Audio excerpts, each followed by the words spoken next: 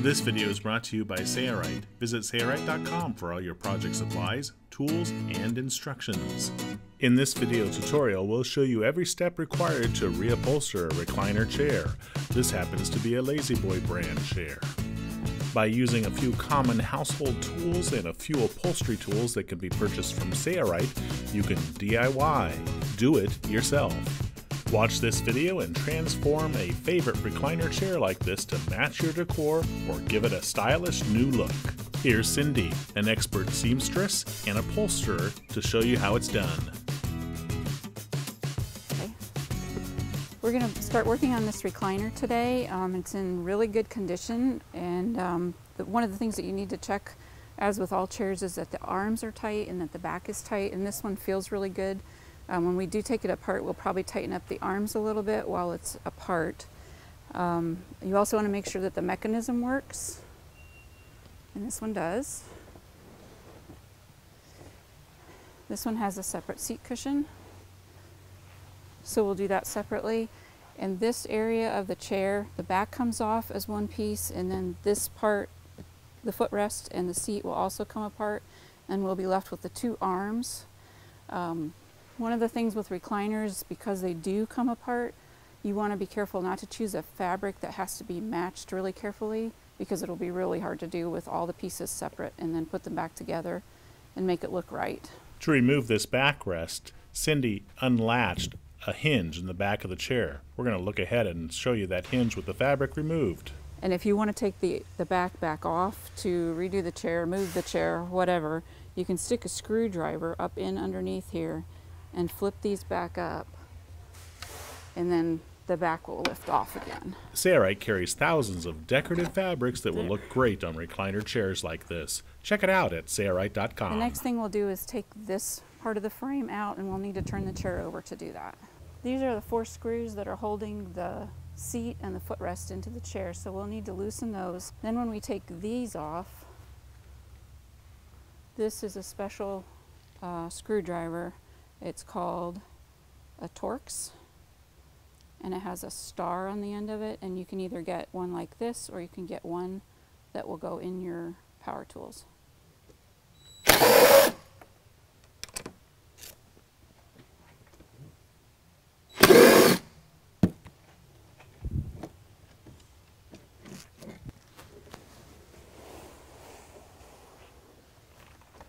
Okay, we've taken the seat out of the chair and we're left with the two arms and this is the area where um, if anything needs to be tightened up you want to do this before you put the seat back on in this area where there's uh, brackets here on this side facing me and that can be tightened up if your arms are loose.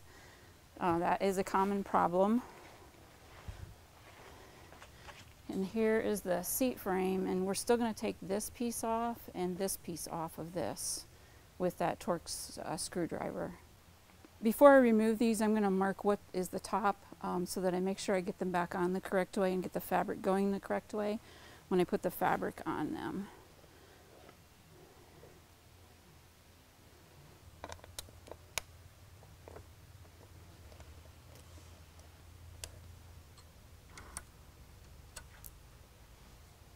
There's the little mid-ottoman piece.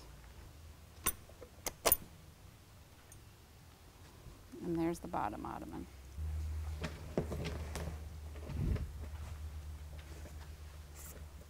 I also have to take the legs off of this and they just unscrew. Coming up next, we'll remove the old upholstered fabric. We'll start with the arms. Now we're going to just take all these staples out down here on the bottom. You can see that the fabric isn't pulled under and so that this edge is nicely finished. There's no skirt on this chair to hide anything underneath. So uh, we're just going to start taking all these staples By out. using a tack and staple remover like this, we can pry the staples out of the upholstered chair. This is a tedious job, and it also is helpful to use a pair of old wire cutters that are dull. Notice here how Cindy uses them to pull on the fabric, and she also uses them to pull the staple completely out of the fabric. This arm looks like it's constructed all in one piece, almost like a slipcover, and then pulled down over the arm frame. So this cording was only sewn to this corner. and then this was attached, and then the cording was pulled over it to finish off this edge on the outside. So uh, we're going to leave this all here so that I don't forget to make the cording that much longer than the, than the actual arm.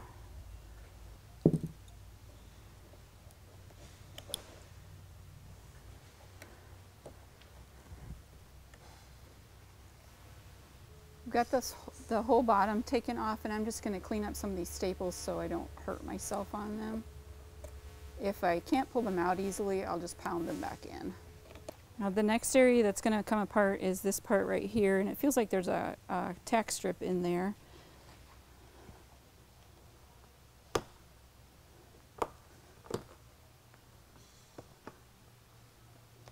So we just need to pry this up. And there's the metal tack strip, and I'm going to pull that out and throw it away because they're really sharp and I don't want to cut myself on The it. tack strip could be straightened out and reused. However, they're very cheap at sailrite.com. So there's a few staples right here also that I'm going to pull out. And then it looks like this is probably going to slip off the arm.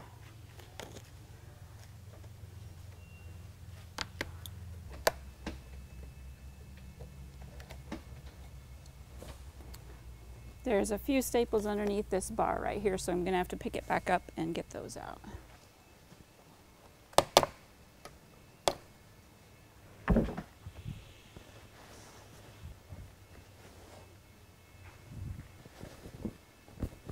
Repeat that same procedure for the other arm on the other side. Let's move on to the seat deck. That's coming up next.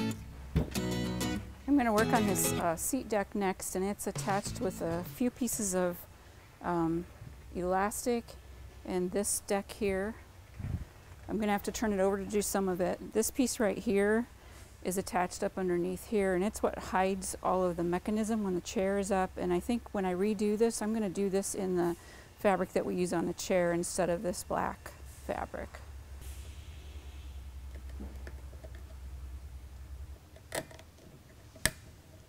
You'll see later on that the cambric black fabric that Cindy is removing does not necessarily need to be removed.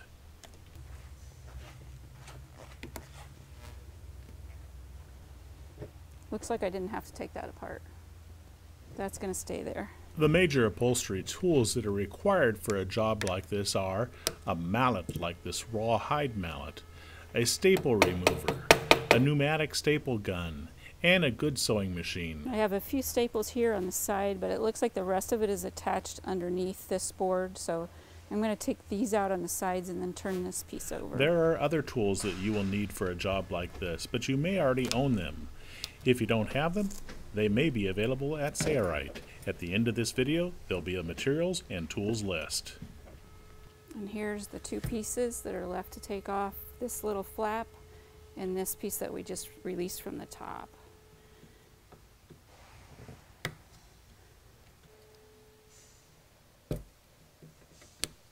Here's the little flat piece that covers up the insides, and here's the deck piece that we just pulled off. I'm going to keep this. I'll take this part off, the fabric off. I'll probably replace the elastic too because I've ripped holes in it taking it apart. This is the little uh, mid-ottoman piece. I'm going to take this apart and mark the arrow for the top on the piece of wood also. So I want to make sure I mark my arrow before I uh, go too much farther.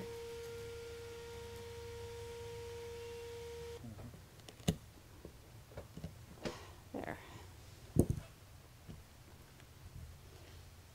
And I will save these pieces to use as my pattern. Don't throw any of these pieces away yet. Now I'm ready to work on the lower ottoman and I'll transfer my arrow when I get this loosened up also.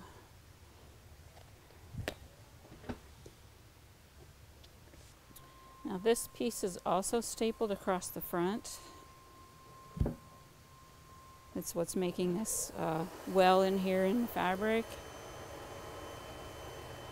So I need to take this piece of foam off and I'm going to try not to tear this up because I do want to reuse it again.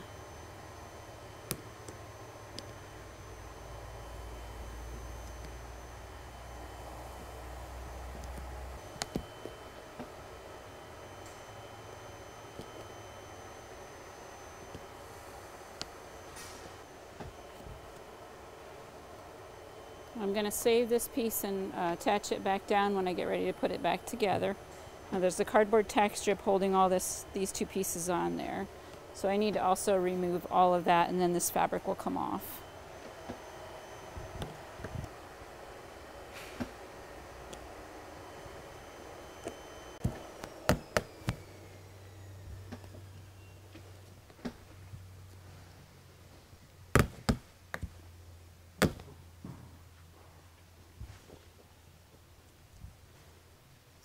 That piece and the cardboard tack strip was right here. And I need to clean up those staples a little bit. There's actually a line drawn on the wood frame underneath here to follow when you put it back on.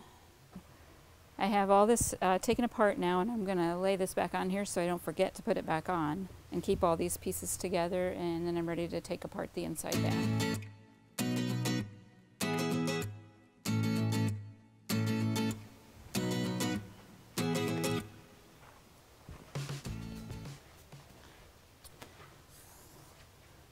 Piece is velcroed to the base of the frame when the chair is put together. So we'll put that velcro back on to the new piece.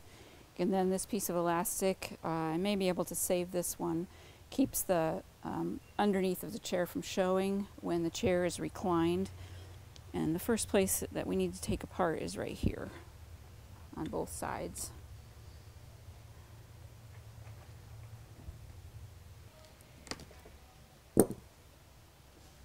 This edge, these two sides probably have a metal tack strip under that I can just pry up.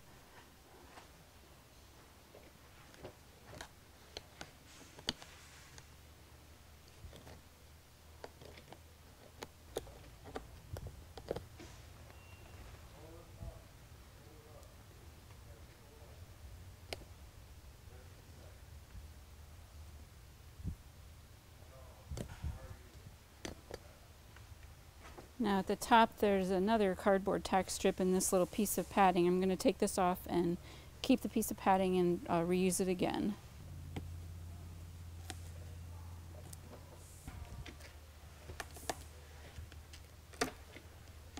There's the outside back.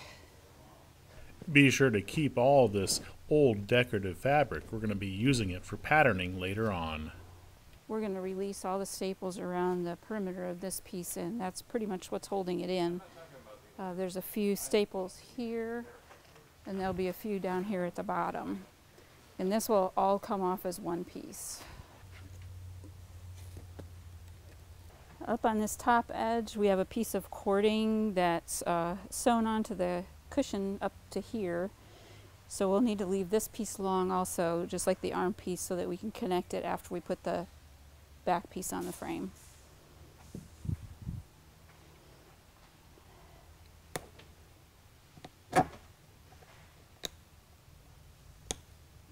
After I took this apart, I can see that they've actually sewn the piping on. It wasn't left long at the corners like I first thought. Um, I think I might leave it long at the corners so that I can make this piece longer so I have more to pull on when I'm attaching it to the frame and then add the piping to it afterwards. There's a couple staples underneath this wing piece right here.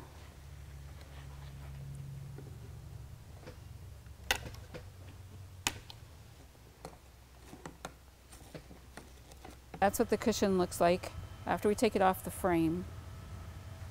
And it's all sewn together before you ever put it on the frame. This little band is sewn to the front with this band sewn to the front and then this is the stretcher that gets attached and goes around the frame.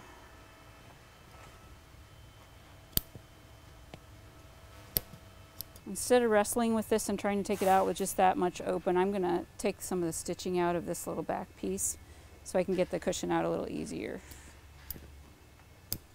And I will save this piece and reuse it.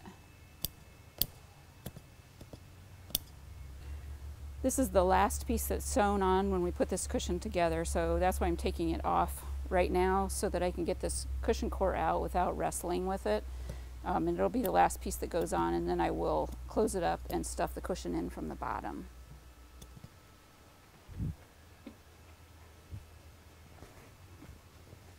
And this cushion looks like it's in uh, really good shape. Uh, we could probably add a layer of uh, polyfill to it or batting if we wanted to.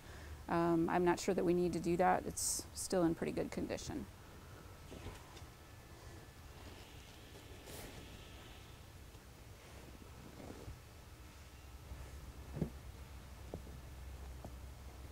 I'm going to leave this together until I get ready to um, cut it out of the fabric and put it back together so that I don't forget how it goes together. There's a lot of small pieces here that need to work together to go around that frame.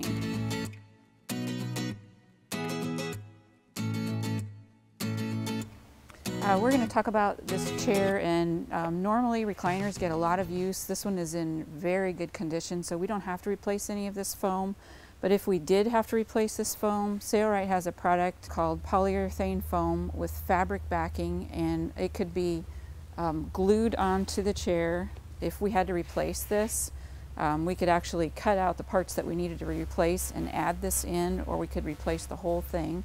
Um, this comes in three quarter inch, half inch, and quarter inch thicknesses, and it would be perfect for this application. So I have both of my arms removed from the chair. I'm going to take one of them apart and uh, make my pattern from it and leave the other one together so if I have any questions I can have answers from that one. And another th good thing to do is to take pictures of your work as you're taking it apart so if you need to go back and check anything um, you can look at your pictures. I'm also going to label this as the out in, inside, excuse me, inside arm and the outside arm.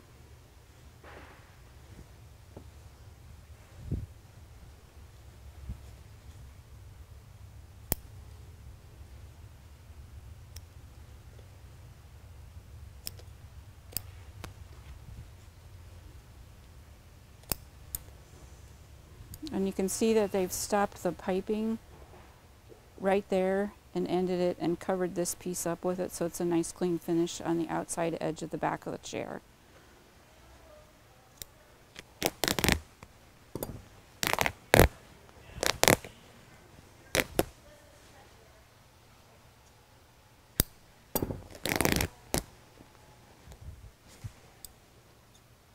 This is the long piece of cording that goes down underneath the outside arm of the chair.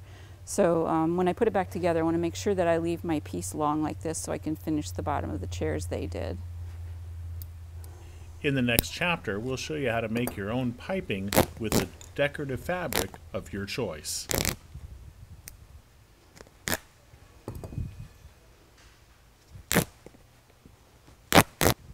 So there's the three pieces that I need along with my uh, cording pieces the inside, the outside, and this top band that goes right along here.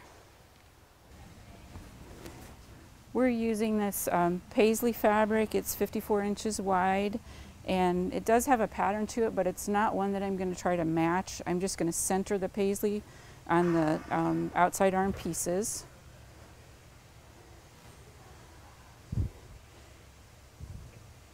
And I'm also going to cut this area at the bottom longer than this because I want to have a little bit to pull on. And I'm going to do that on the inside and the outside pieces and the same back here. I'm going to give myself a little bit of extra because this has been trimmed off and I want a little more to work with than what's left there. On these edges where the seam is, I'm going to cut it just like it is to the same size that it is now.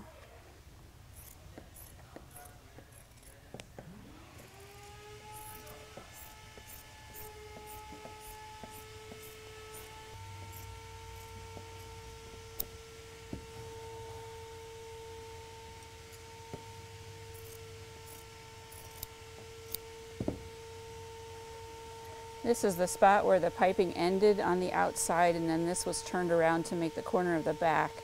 So I want to make sure I cut that just like it was so that that corner fits properly. Out here and down here is where I want to add some extra.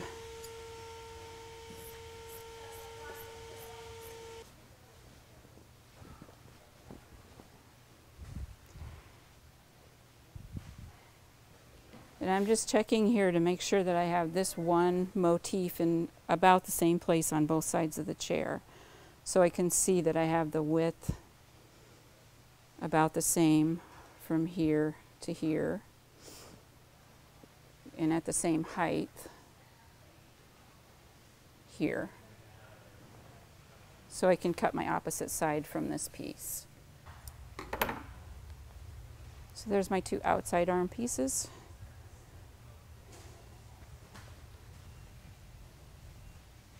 This is the inside arm and you're not going to see so much of this one because there's this comes down underneath the deck of the chair and then there's a cushion. So I'm not going to be so concerned about uh, getting anything centered. This one will work and I'll just make the opposite one the same. And the same with this one, I'm going to give myself a little extra at the bottom and at the back, but where it's stitched, I need to make it exactly the same as it is. When making mirrored pieces for the other side, be sure the outside surfaces are facing each other when you make them. Since this one is the inside piece, I'm not going to be so concerned about having these in exact the same, exactly the same spot, but I am going to make sure that they're level on both sides of the chair. So this is what I'm looking at right here. These cuts are what go around the base of the chair down here on the frame. I'm not going to cut these out until I put it on the chair, um, just in case these are not quite right for my piece. So um, I, I can use these as a guide, but I'm not going to cut anything right now. So those are the two pieces for the inside arm.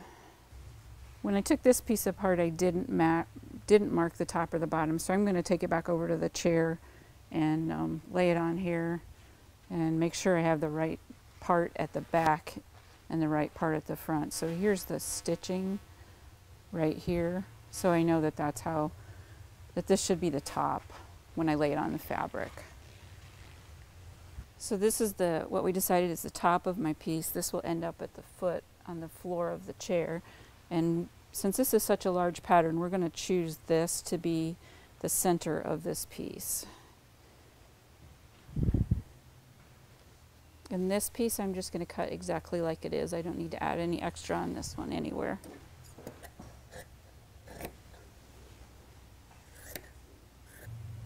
And I'm going to turn it over to cut the other one and put this the center of this paisley in the same place on the other side.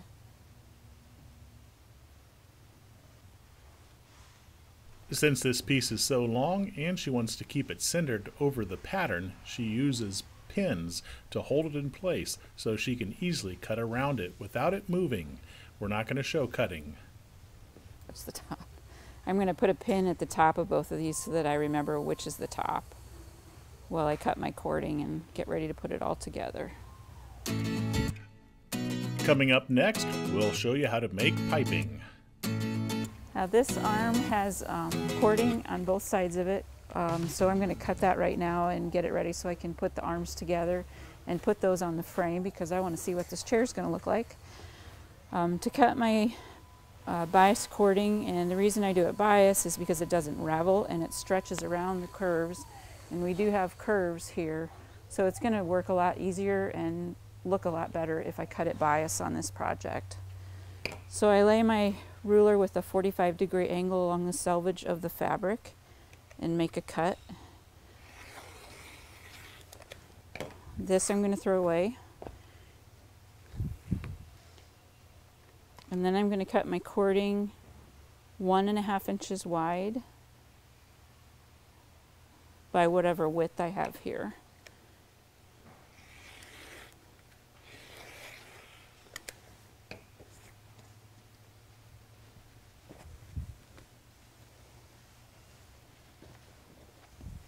And I'm folding it just so it will fit on my cutting mat.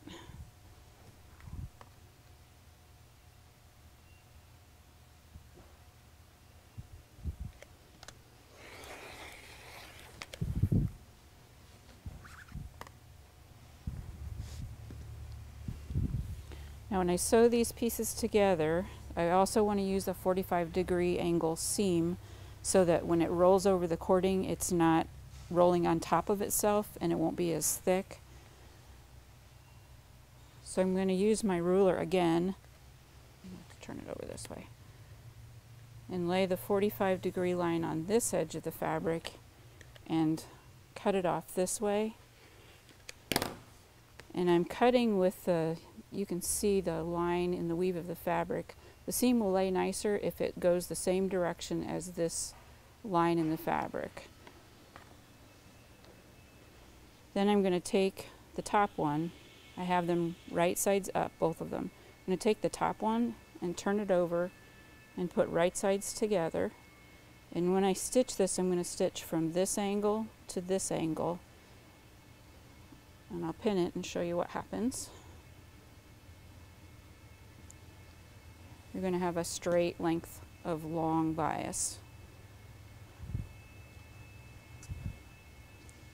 This one is already the angle that I want it to be.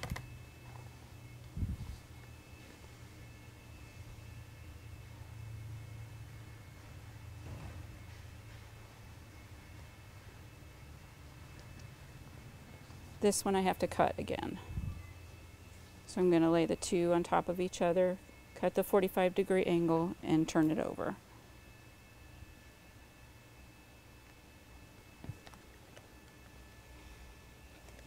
Um, if you want to figure how much cording you're going to need to buy for this chair, we would just actually measure, and it doesn't have to be an exact measurement, just make a rough measurement.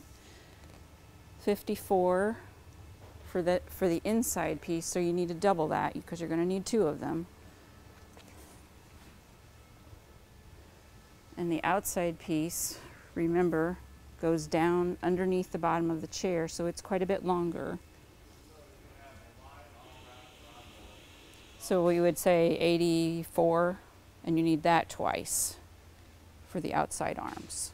When calculating the amount of piping required, don't forget to check if piping is used for the backrest and possibly the cushion. Throughout this video, we will be using the Sailrite Ultrafeed sewing machine. It's excellent for upholstery applications like this. So here is where I'm sewing from this angle to this angle and um, then I'll open up the seam when I put it on the cording and I'm going to chain stitch this so I don't have to keep breaking my thread each time I do a new piece.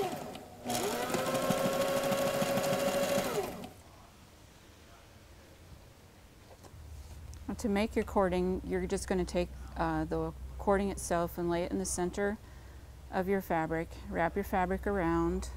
There's a tunnel in the foot that's going to carry the cording for you. So the machine's going to do the work, and all you have to do is fold it back a little bit. If you're not using an Ultrafeed sewing machine, you may have to install a cording foot. This one has one built in. And we also want to sew this at maximum stitch length. Here we're sewing 6 millimeters.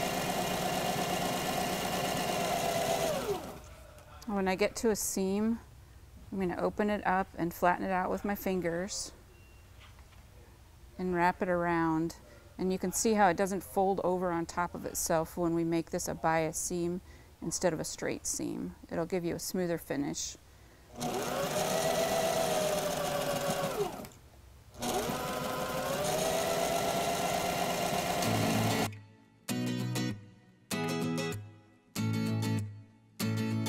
have all my pieces laid out and ready to sew together for these two arms.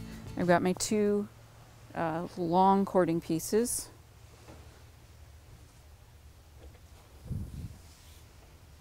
and my two short cording pieces.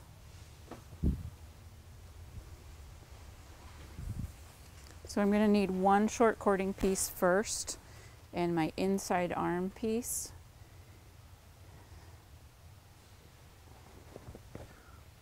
So before I start to stitch this, I'm going to take it up and lay it up against the old piece and make sure I start it at the right place. So on the original piece, it was actually started right here at the back of the fabric. So when I stitch it, I'm going to start like that and go around to the bottom. When we made the piping, we specifically used a long stitch length of about 6 millimeters. When we make the rest of this cushion, including sewing on this piping, we'll use a 4 to 5 millimeter stitch length.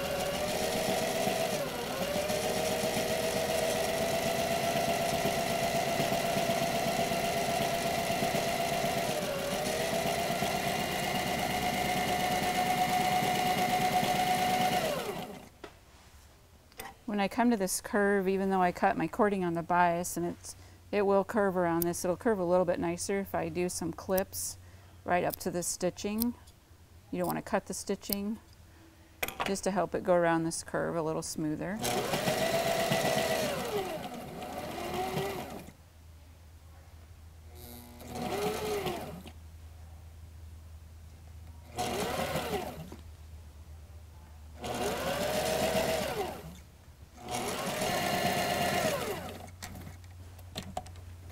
Have this band that goes down over the cross across the top of the arm and down the front of the chair.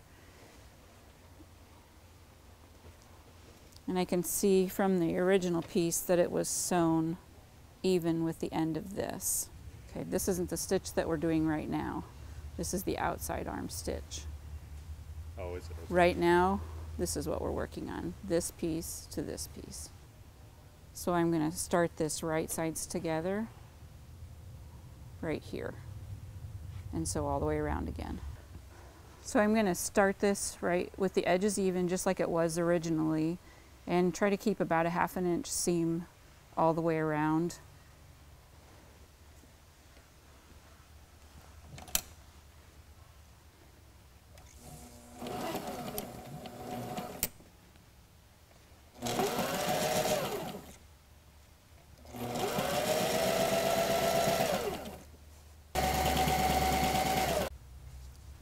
Come to this rounded area, I'm going to clip this also. About a half an inch apart and about 3 eighths of an inch in.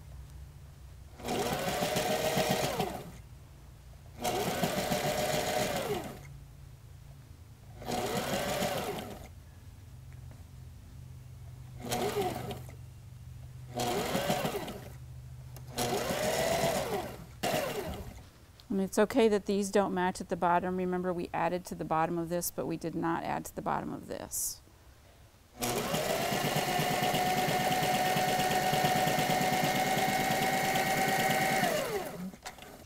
Cindy's looking for the longer piece of piping for the opposite side.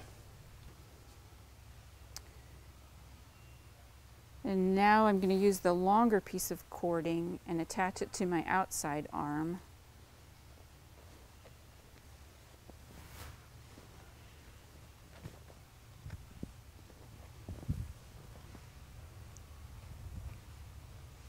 And if you remember, it started right here in this area. And then this is going to fold over that end and finish the back corner of the chair. Let's take a look at the old one. And I'm going to open this up so you can see what I'm doing.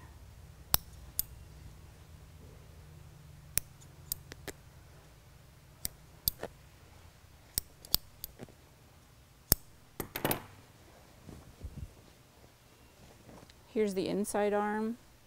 Here's the band that we just put on. And this is this area. So you can see that this cording stops right here. So I want to do the same thing with my piece. I'm going to make a clip right here. And my cording is going to start right at that clip. And then it'll be covered, the end will be covered up with this seam right here when we put that seam in the outside arm.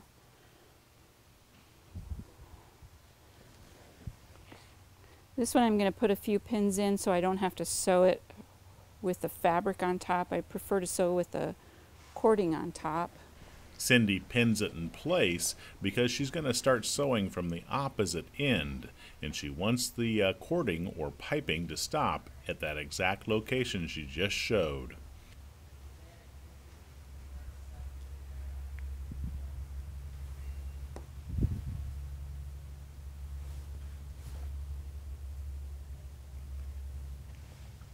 Cutting a few relief notches here at the uh, corner will make the piping go around the corner better.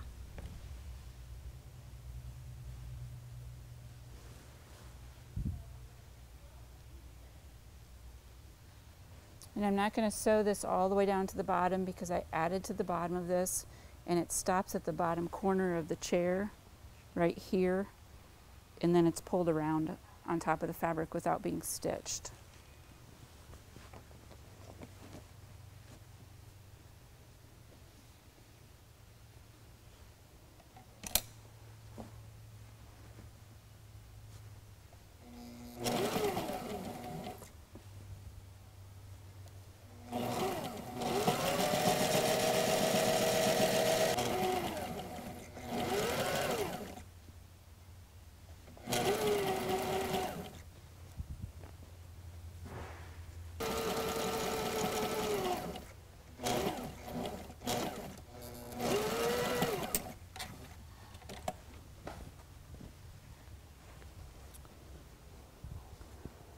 So to put the two pieces together and complete the arm, I'm going to start with this edge along this edge again.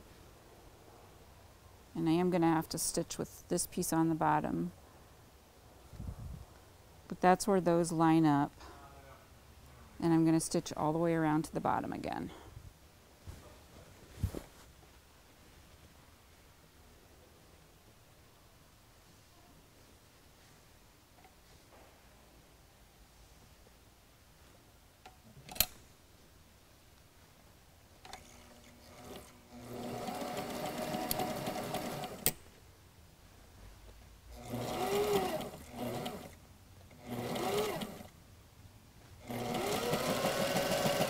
To sew these assemblies together, keep the edges lined up as they approach the needle.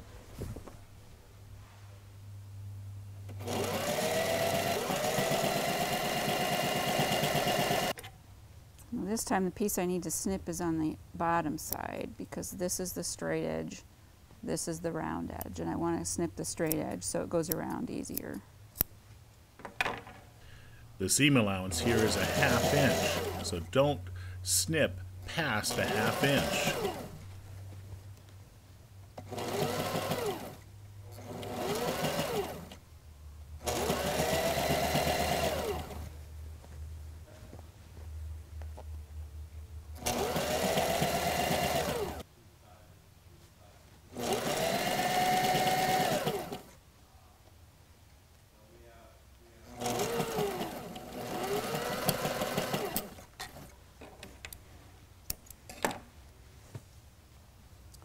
The long piece that goes down underneath the chair after I put this arm on.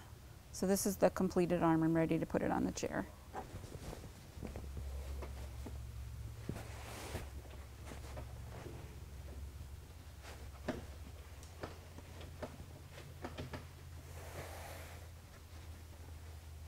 Whoops, I forgot to sew something.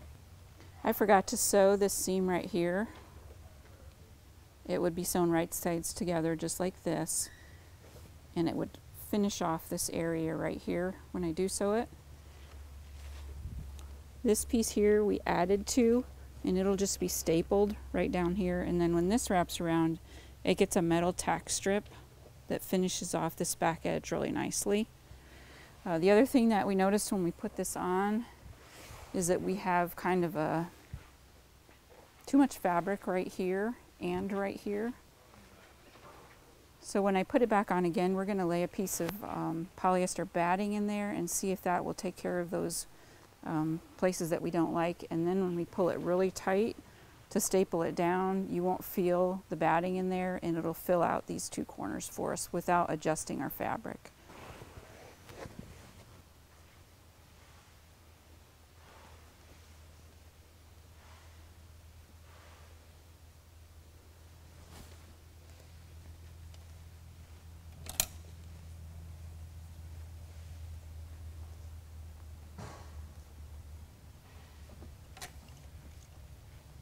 Cindy will sew right over the piping and she'll also do some reversing at the beginning and the end to lock the stitch in place.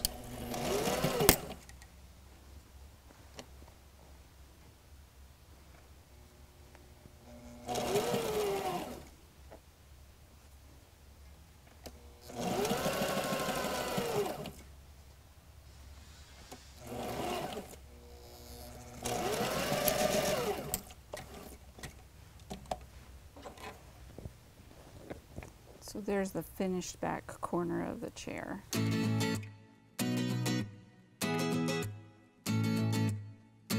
Uh, when we put our finished sewn piece on here, we had uh, gullies on this side and this side, so we want to fill that in with a little bit of um, polyester batting.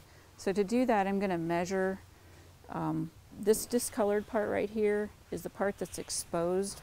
The cushion is right here, and the back of the recliner is in this white area right here. So we only need to extend it a little bit beyond the yellowed area. And back here is where the wing of the back sits. So we're just going to come a little bit beyond that. So my piece needs to be 27 inches long.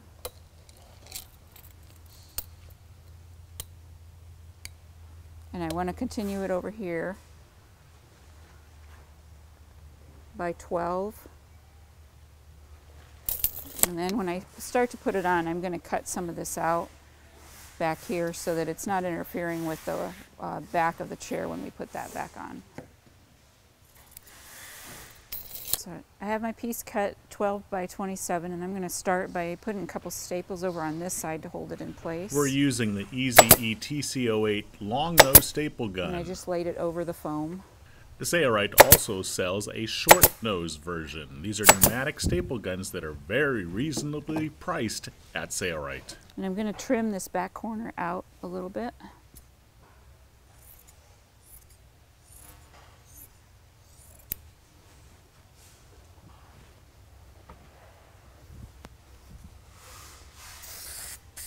I'm going to glue the whole thing down and then work on the edges.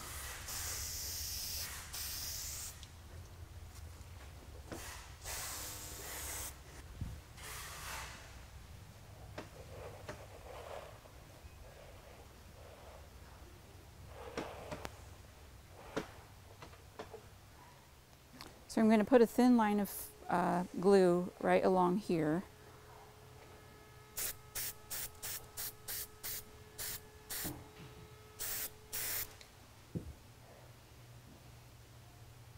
And kind of roll the batting over into that glue that I just put on there.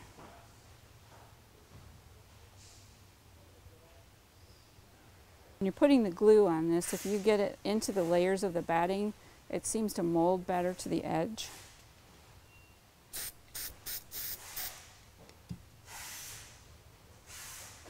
The edge of the batting can be trimmed with scissors to make a smooth transitional edge, or as she is doing here, it can be glued and pressed down to make a smooth transition.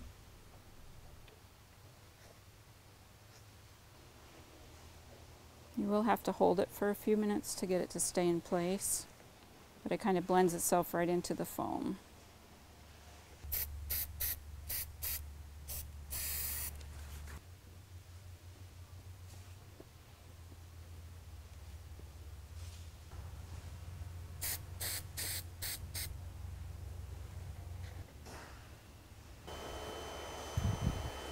I'm ready to put this um, arm panel on and it's the inside and the outside arm.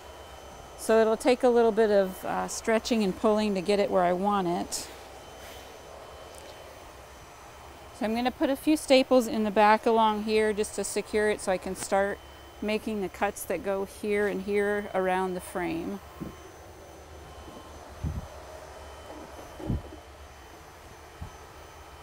There are several tools and also equipment that'll make upholstering projects like this easy. Sailrite carries an upholstery toolkit you may want to check out. If you're interested in the upholstery toolkit from Sailrite, here's a quick view of what you'll get in that kit.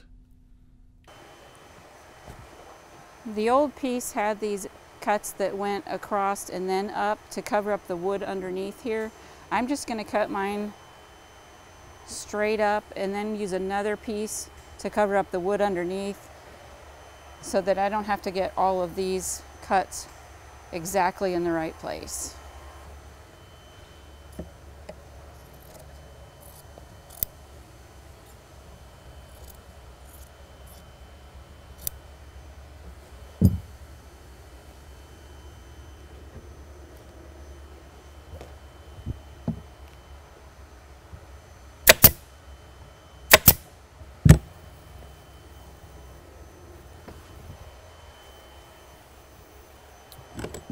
I'm going to do that for the front uh, piece of the frame and the back piece.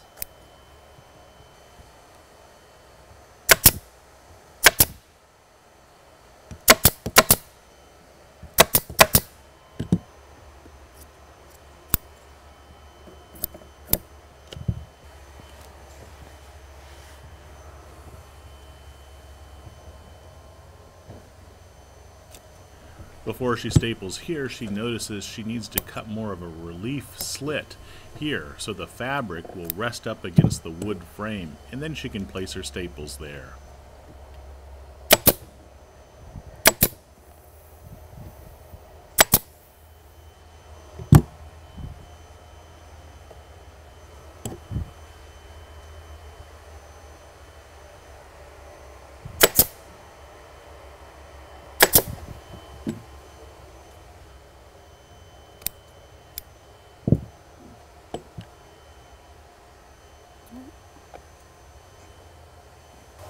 I'm going to turn the chair up and, and pull this down underneath and finish this piece off underneath here.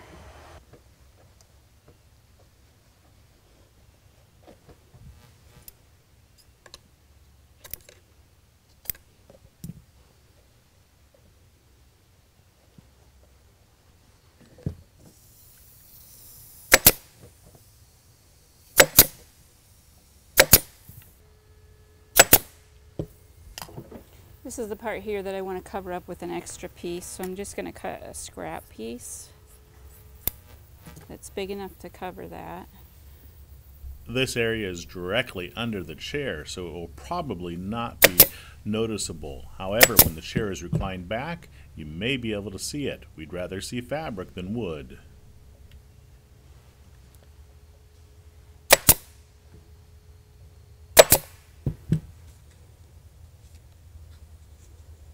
and then it gets pulled down underneath.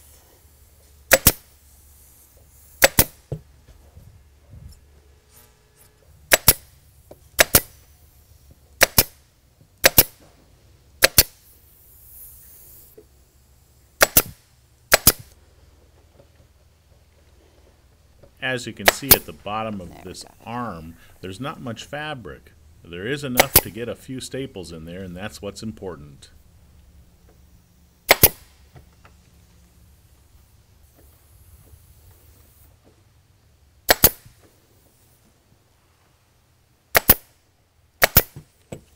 So I pulled this down this way first and then I'm going to fold my cording over to make the corner here at the bottom.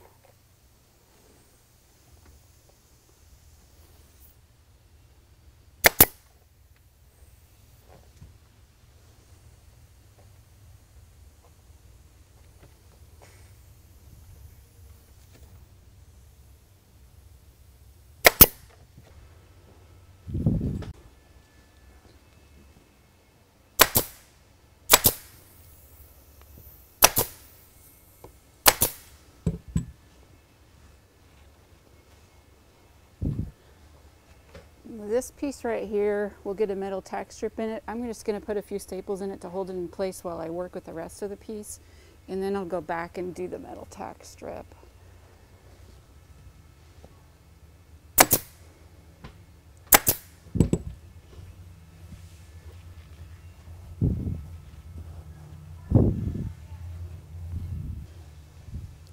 Cut this piece longer because it gets folded under to finish off the bottom of this part of the chair.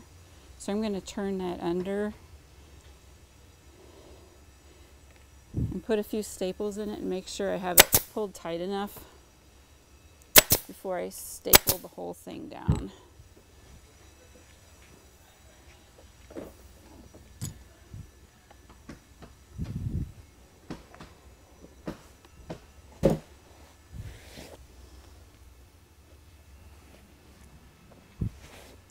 It looks like I need to pull that a little bit tighter to get this cording to come down and around the side.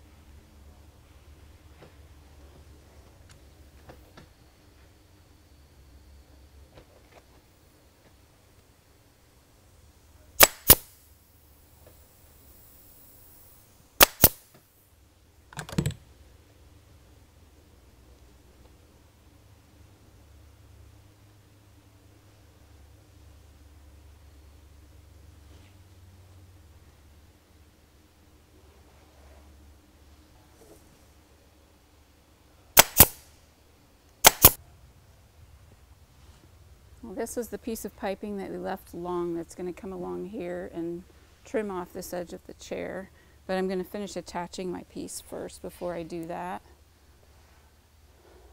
To finish off an edge, we'll use the metal upholstery tack strips. We recommend using new tack strips, though you could possibly straighten out your old ones. They're available at Sailrite. Whoa. Okay, now I'm going to take these two staples out so that I can put my metal tack strip in back here to finish off this edge and then I'll finish tacking the bottom.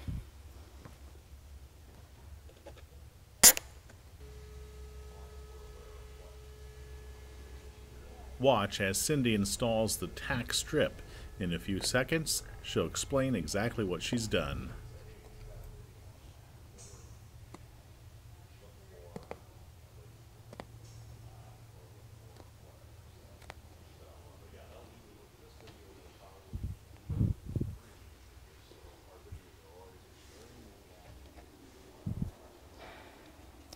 I pushed that into the fabric on the wrong side.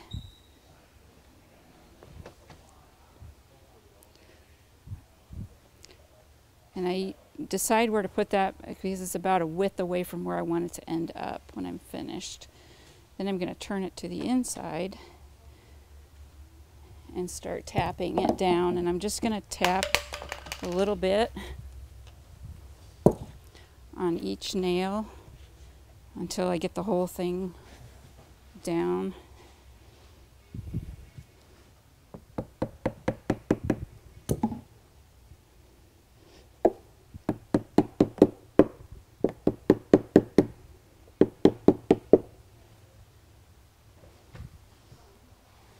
You can see that the tack strip, even though I don't have it all the way tacked down yet, has pulled this piece nice and tight on the outside.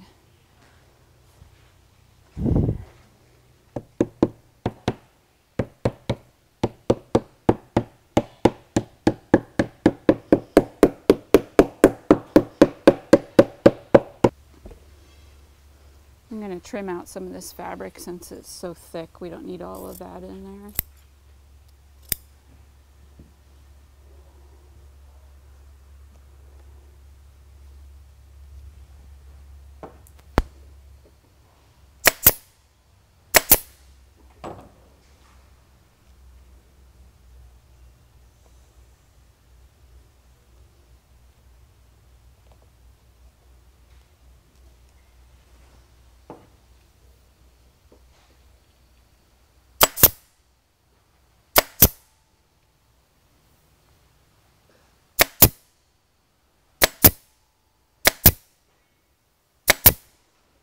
An awl is being used here to find the hole that the leg has to screw into later. I did not mark my holes for my legs before I pulled this down underneath, so I'm making sure I know where they are with this tool. I'm just going to mark them with a marker. I may have to trim some of that fabric out to get the leg back in there because this is pretty thick right here and it's even thicker back here. Okay, to finish this edge off, up here without these ravels right here. I'm going to cut this and tuck it underneath. Right, I'm just going to snip it right up to the seam. It's just an awkward transition for the cording.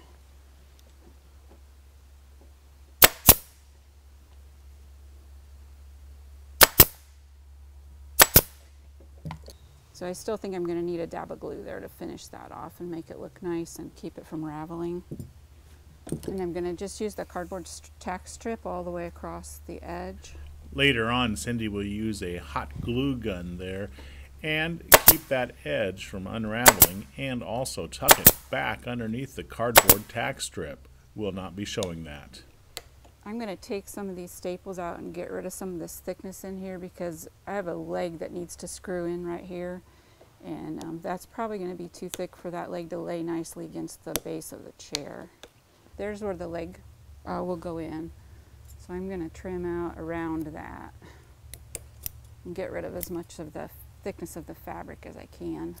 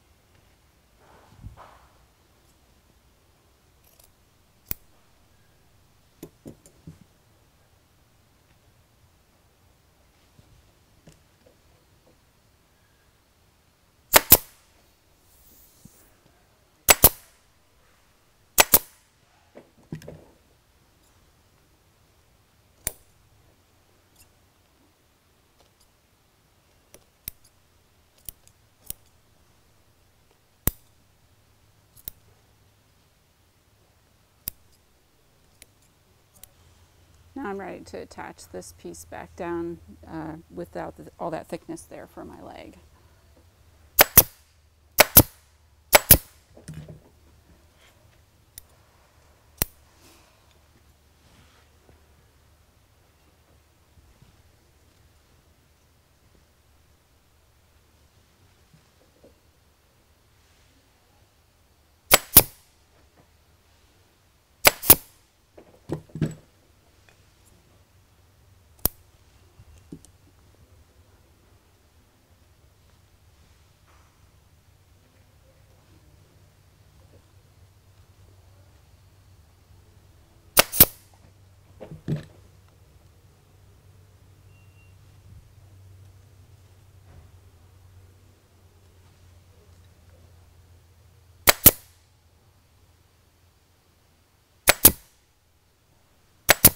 Follow the same procedure for the arm on the other side of the chair.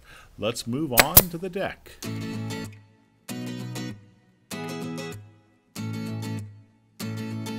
These are the, all the pieces that belong to the, um, the deck of the chair and the footrest. And this is what I'm going to work on next because I'm ready to slide the deck, the mechanism back into the chair.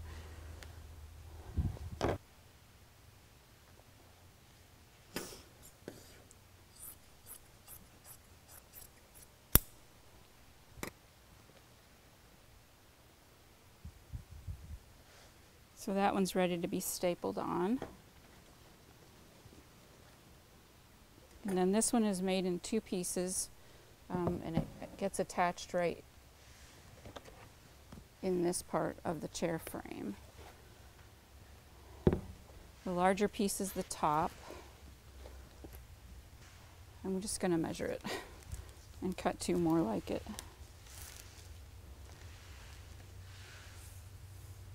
Uh, it's about 28 by 11. I'm going to give myself a little bit of extra length. So I need one piece that's 28 by 11 and one piece that's 28 by 8. I'm going to put a pin in the top of this so I remember which is the top. And um, this was there was no cording or anything in this. This was just a seam that attaches to the wood. So I'm going to flip this over on itself and match up my patterns the best I can so that it's consistent up the front of the chair. And then I'm going to stitch about a half an inch seam across this. And then I'll have my two pieces ready for the footrest.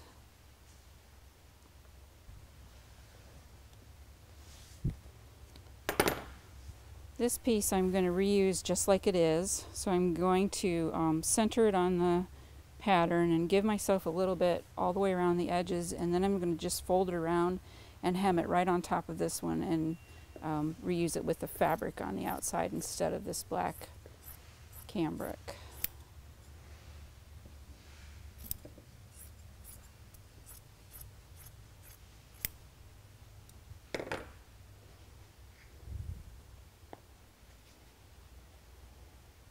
So I'll take this to the sewing machine when I'm ready and just fold this over and cover up the old fabric on three sides.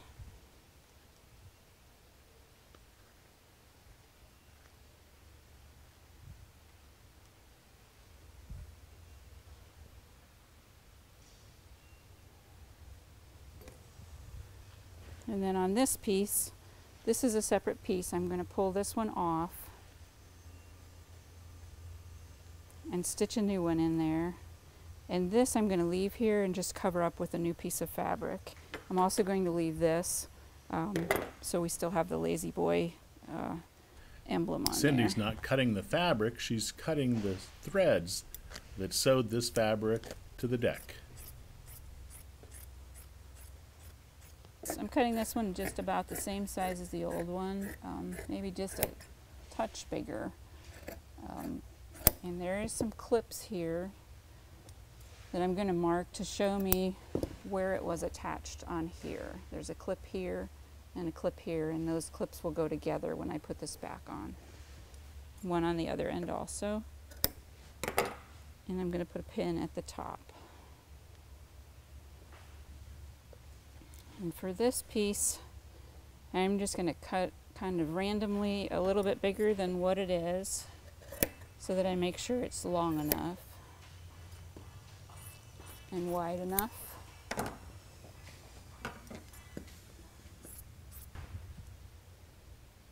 And I'm going to center it on the old piece and I'm going to stitch right in this area so that when it's stitched on, it covers up all of the old fabric.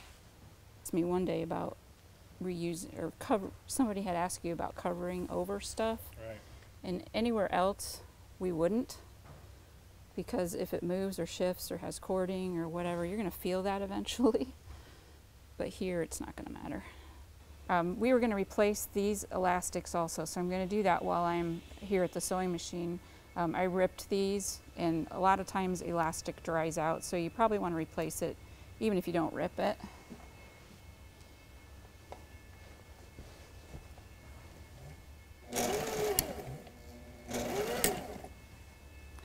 So when I'm stitching this, I just want to make sure that I am beyond this seam right here so you don't see any of this old fabric when we're finished. And I can feel that underneath here with my fingers.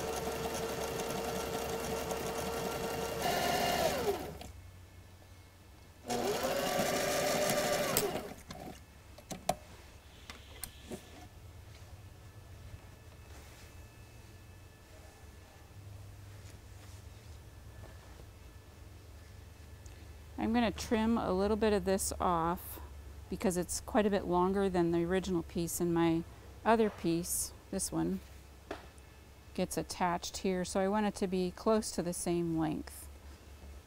So I'm going to just wrap it around and see that I have, oh, probably a half an inch too much. So I'm going to trim that off. And fold it back up and mark the notches right here and right here. And then the notches that I marked on this piece will match up to this piece. Throughout this video, Cindy will refer to the old decorative fabric to see how it was sewn or clipped or shaped, so don't throw that out until you're done.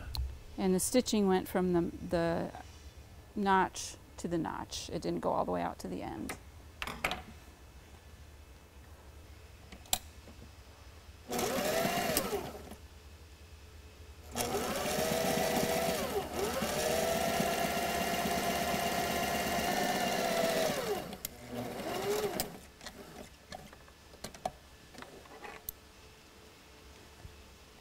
So there's my piece added on. And now I'm going to finish off the corners and stitch this down. I'll start on this side. If you're wondering why that second strip that we sewed on was not sewn all the way to the end, you'll soon find out why. As this edge is being folded back and sewn down, she can sew past the one panel of fabric and then sew across at that location. That extra strip of fabric is a fabric pole that will be used to secure this deck panel to the actual wood frame.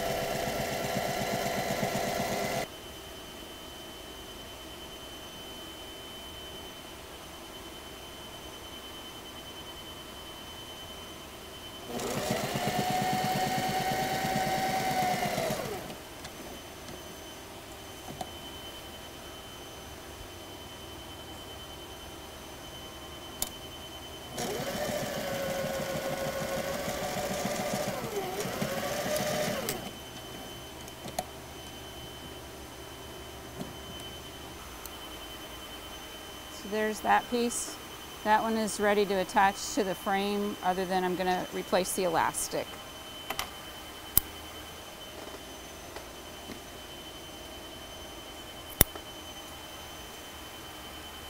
I'm just going to cut these at five inches and stitch them back on uh, where they were originally.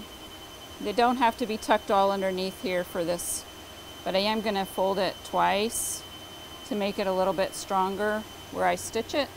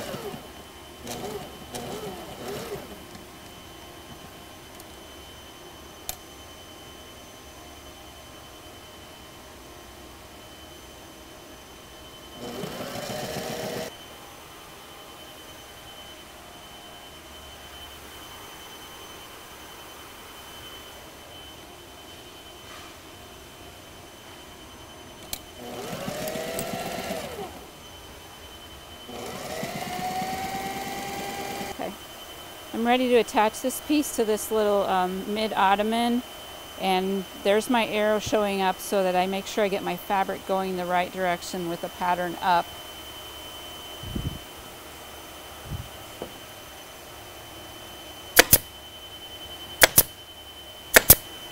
I'm going to go from one side to the other side and then I'm going to do the ends.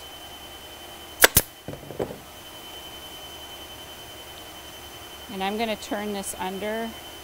So this is a finished edge here. And I'm going to cut out around the holes for the screws to go in.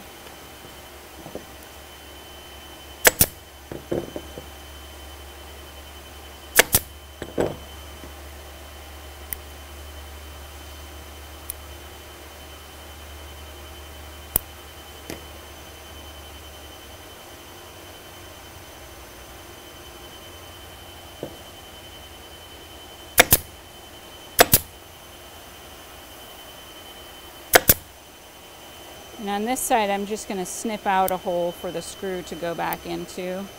I'm not going to trim out the whole thing.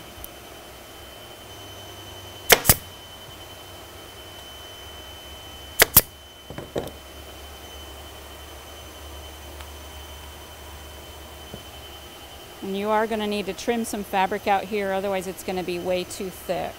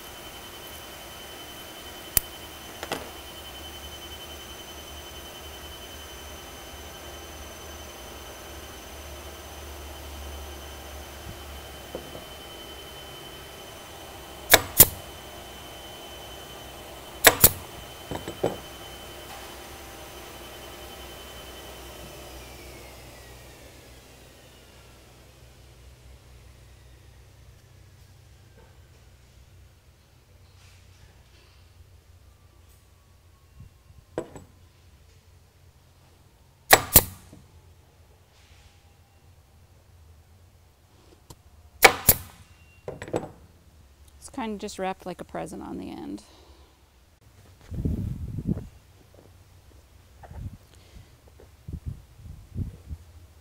So this is the bigger ottoman piece and um, I marked my top with the arrow. So I want to make sure I get the top of my, my fabric going the correct direction when I put it on.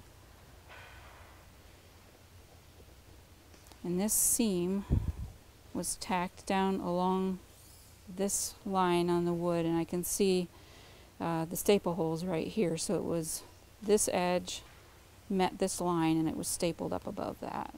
Give it a couple staples to hold it in place while I work with it first and line the edge of my fabric up with the line on the wood.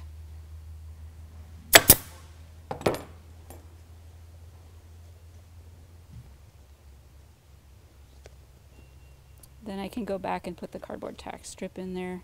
Cardboard tack strip will give it a nice hard edge when I pull this piece back down.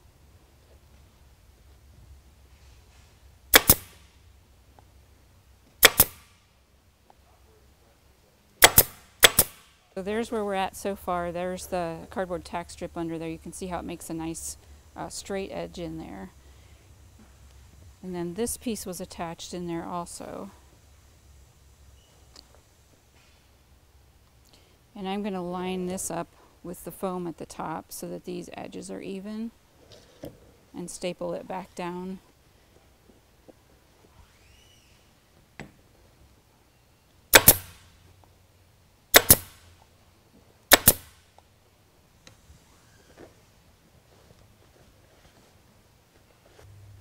So I've turned this over and I'm ready to pull all of these edges around and I'm going to start at the top and the bottom to pull them around. And I want to make sure that this piece of foam covers up this edge of the board. So when I pull it, I'm going to try to get it like that.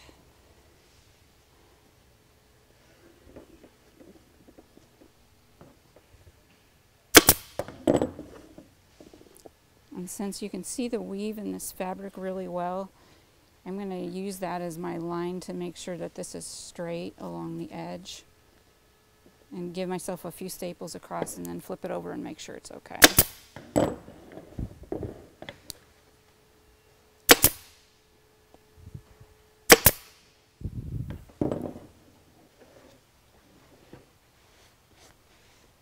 And that looks smooth and tight enough, so I'm going to keep going and start on the bottom.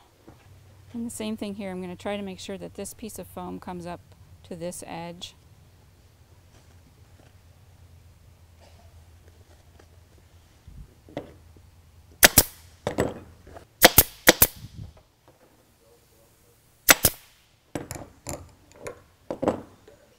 Going to trim a little bit of this out also so it's not quite so thick at this corner when I pull it under.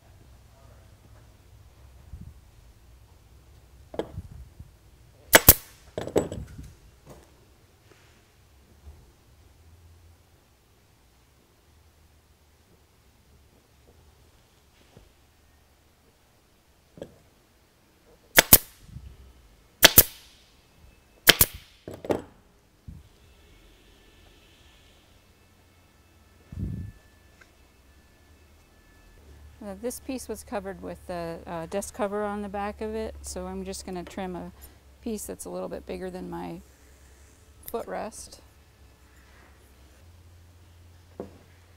And just staple it all the way around and fold the edges under so it's a nice finished edge.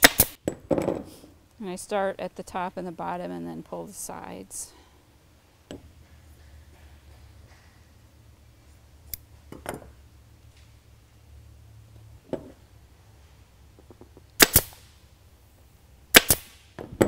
Before I cover this up completely, I am going to mark the holes for the footrest part of the mechanism. Uh, the next part of this process is to attach this deck piece back onto the mech frame. And I can tell where it was. I want to center it, but I can also tell where it was by the way this is folded up from this part of the frame. So these need to be stapled down, and then this little front piece will be stapled down. So I'm just going to put a couple staples in and then flip it over so I can work with it a little better.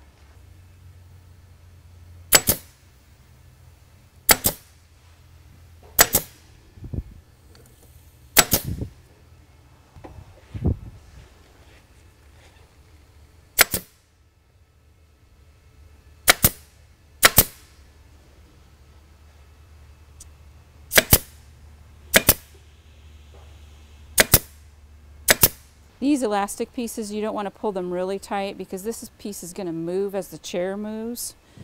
So you just want to secure it.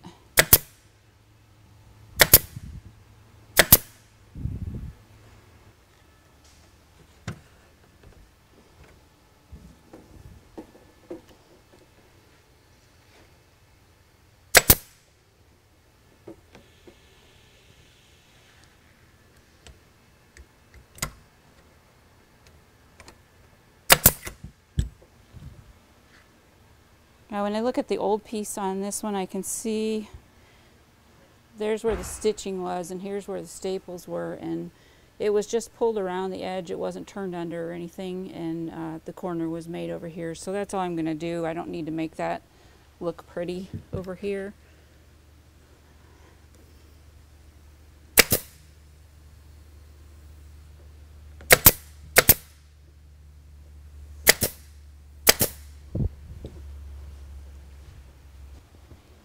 And then this piece that we covered, the old one that had the cardboard in the bottom of it, goes right under here.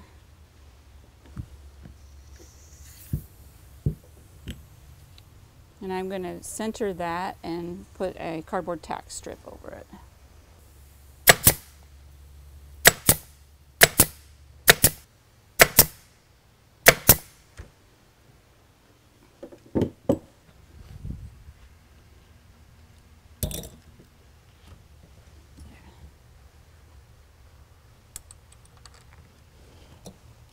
I'm ready to attach the ottomans now and just make sure you have them the up going up and um,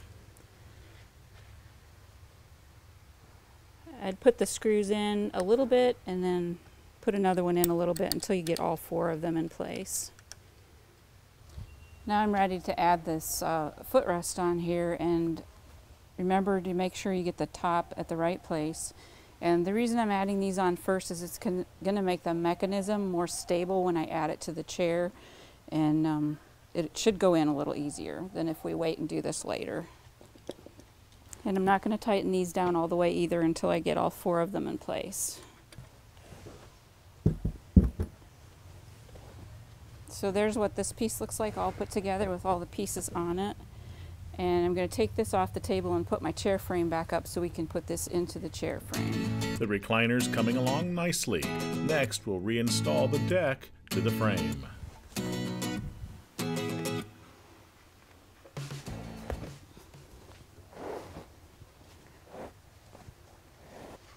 So we have the mechanism um, just laying in here right now and I'm going to put the bolts through the mechanism itself and through the frame of the chair. And one thing that you want to be careful of when you do this is sometimes there's uh, grease on these mechanisms. So check for that first before you put it in. And if there is, lay a scrap piece of fabric over the arm and slide the mech over the scrap piece of fabric rather than over your um, regular fabric so that if you, get, if you do have grease, it ends up on the scrap fabric.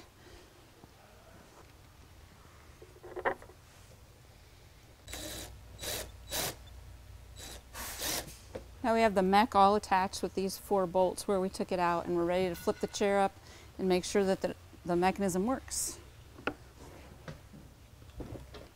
And it's catching on the on our table because we haven't put the feet on the chair yet, so it will work properly when we get it all put together. We do have to cut some of the fabric away to allow entry of the bolt into the frame.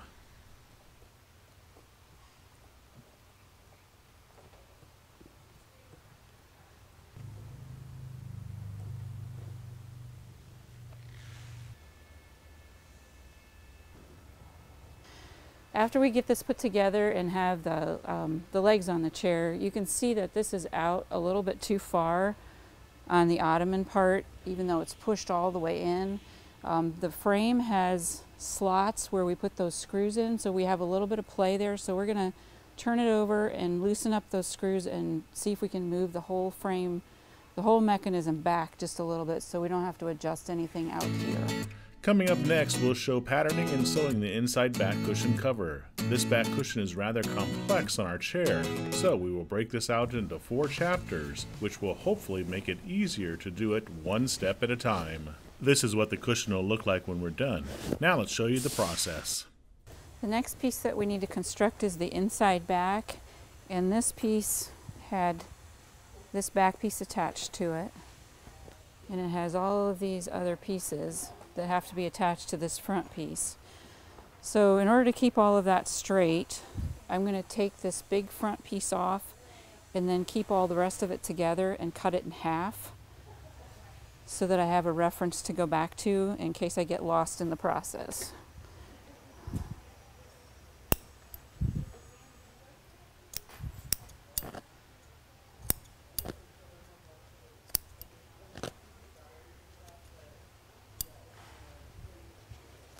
So the only piece I want to take apart right now is this big front piece.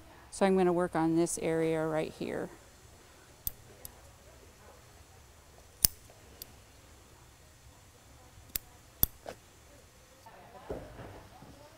So here's the big front piece. And here's everything that's going to get attached around it, all still in one piece.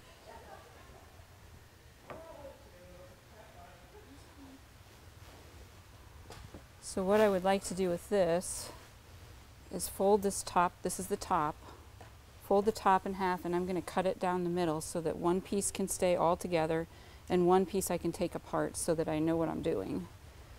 So I'm going to lay the seams together here at the top.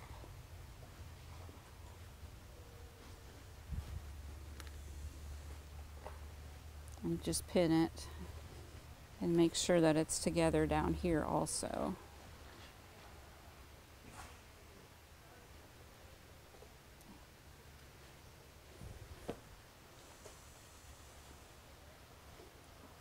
And then I'm going to cut right along this fold.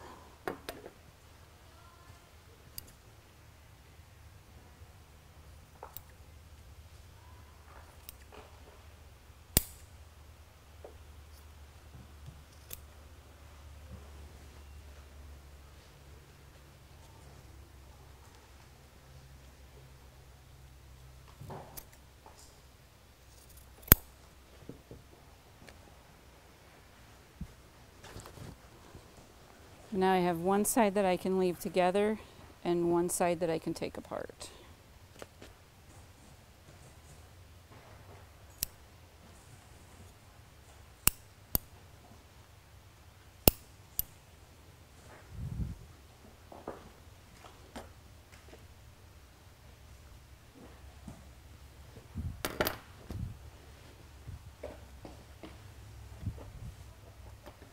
Okay, I'm going to give myself some hash marks to the pieces that go together to help me also remember how to put this back together because there's so many pieces.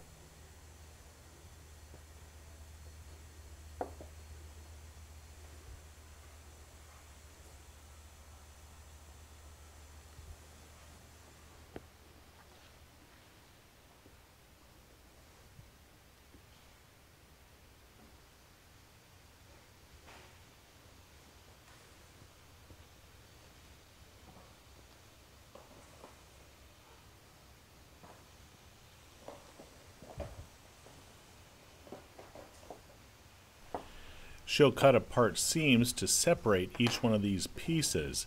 These we'll call facing strips. This half will be cut apart. The other half will be left whole so she can determine where the pieces go.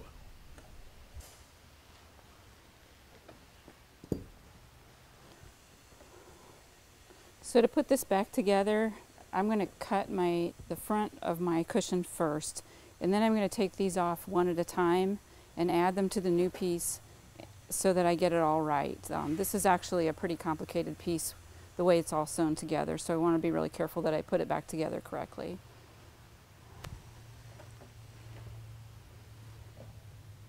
And I'm going to fold this in half to find the center of my pattern and decide uh, where a good place is to have this main one land on my cushion.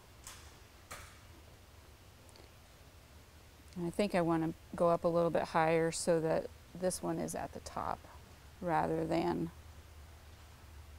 in the center and a half pattern at the top.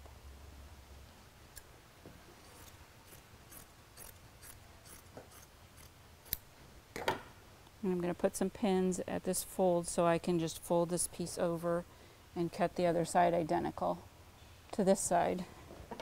Since all the edges will be seamed, she's going to cut it right along the edge of the old decorative fabric, following the curve exactly.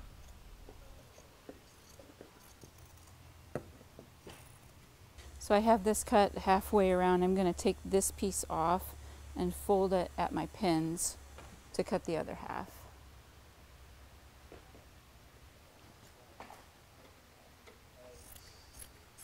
Here's a close-up of the pin you can see sticking through the fabric. Then I'm also going to put a clip at the top and the bottom at the center. Just about a quarter of an inch in. These clips will be used to find the center location when sewing on the facing strips. So this long piece right here is the first piece that gets attached to this piece. So I'm going to remove this and cut it out and attach it before I remove anything else.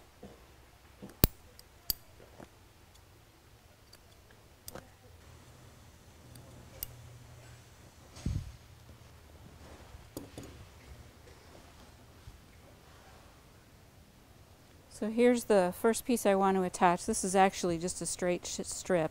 It gets shaped by this seam and this is only half of the top so remember to lay that and cut the other half of it.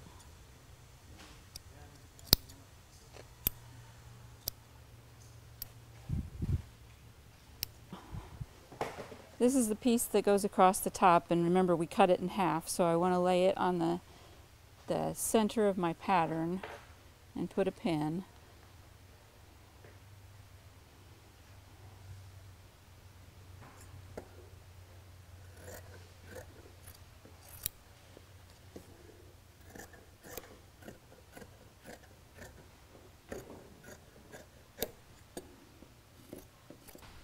Next, she'll fold it in half at the pin, pin the other half down, and then cut around the edge.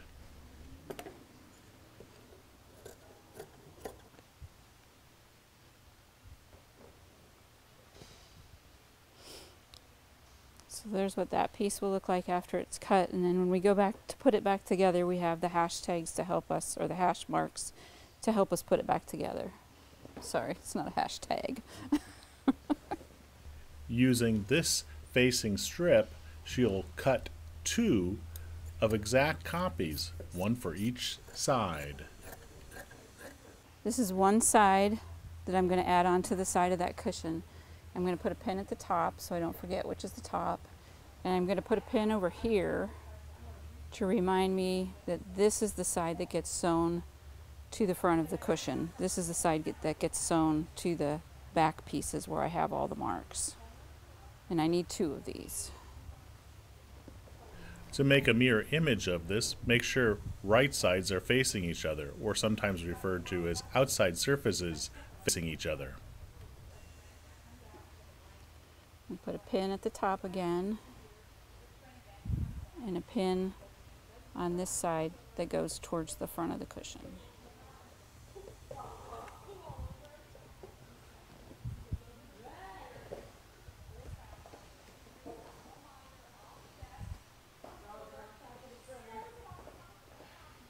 So this edge attaches to the front of my cushion and this edge attaches to the front of my cushion. So I want to sew these three pieces together like this across this seam. They will be sewn together there with a half inch seam allowance.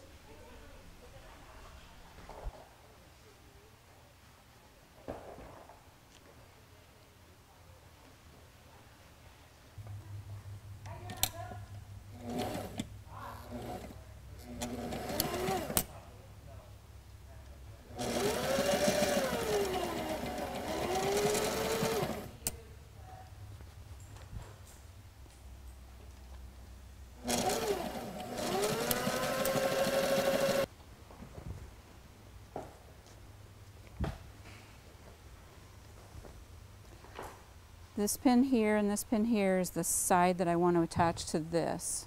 And I'm also going to mark the center of the top piece with a snip at each side.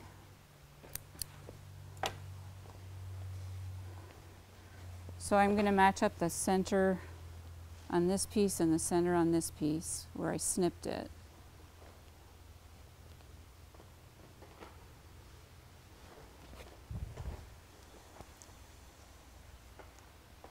And then stitch this all the way around to the bottom. It's a good idea to always start at the center and sew down one side or leg, then flip the assembly and sew the other leg when you're done. And I'm going to put a couple clips in the top of this to go around this corner right here.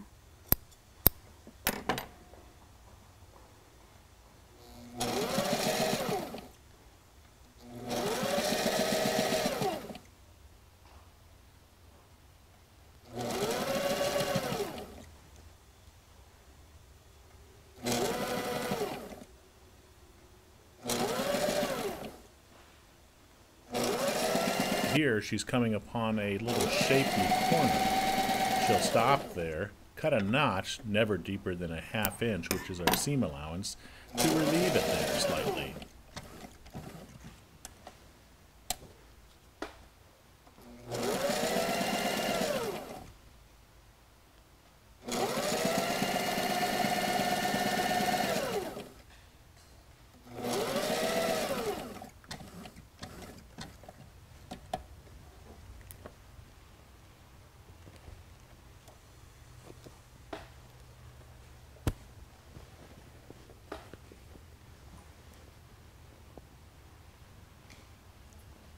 So since I have this piece all still together, this is the piece that I just sewed on to the base piece.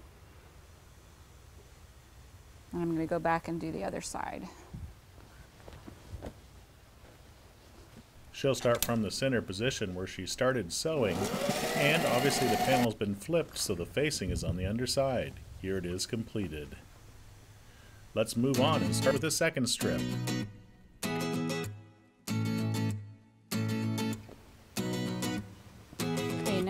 To add this piece on. So I'm going to take this off of here and cut it out. And remember to cut, this is only half of what we need.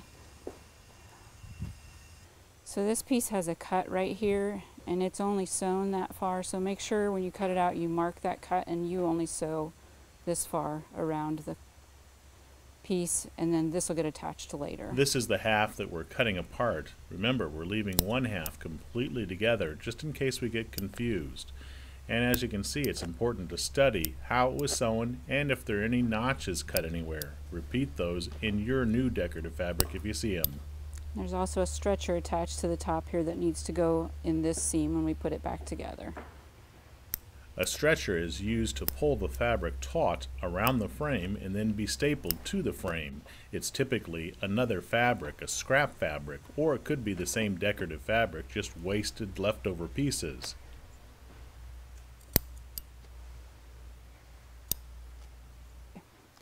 Here's the little clip that I want to sew to. So I'm going to mark it on this one and then mark it on the other one when I cut it also.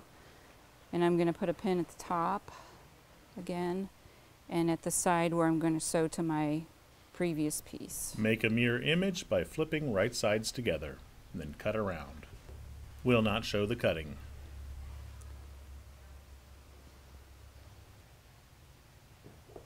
It's over here.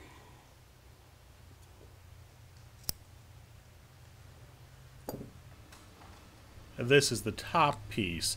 Remember, it's been cut in half, so we'll need to fold it in half to finish the opposite side.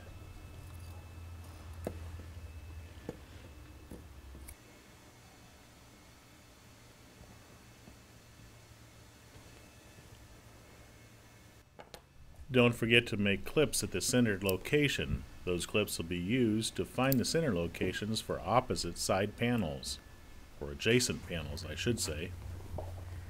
Because these pieces are a little bit complicated with all the separate pieces that have to make this one cushion, I'm going to put this on here and show you where we're at so far. This was our first round of fabric. And I do need to go back and stitch this into a corner so that it covers up this bottom part of the chair and I'll do that in just a little bit.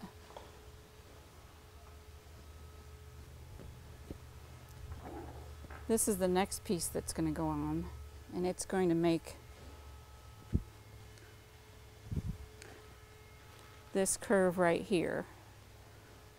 So I'm going to add these two to the top of this and then add those three to this piece. In preparation for sewing that top piece to the two side pieces, she'll flip it so it's wrong side up. Outside surfaces are facing each other and pin it so that she knows exactly how it should be sewn. A half inch seam will be sewn along the top edge.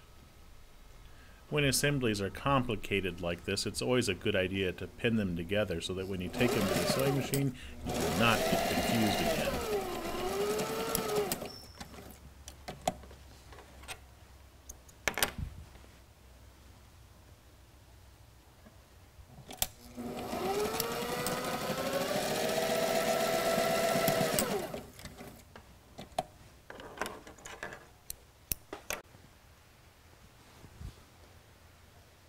This is what I just made and you can see that it's going to take the shape of the cushion around this corner and it kind of mirrors the front, the way the front is made. So the next thing I'm going to sew is from here, attaching this and then all the way up and around. And then I'll be ready to add the next piece onto it.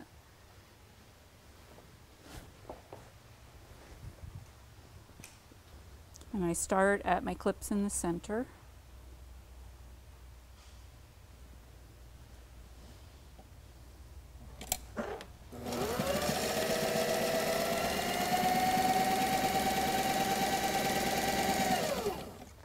Your only job is to keep the edges lined up and the stitch about a half inch from the raw edge of the fabric.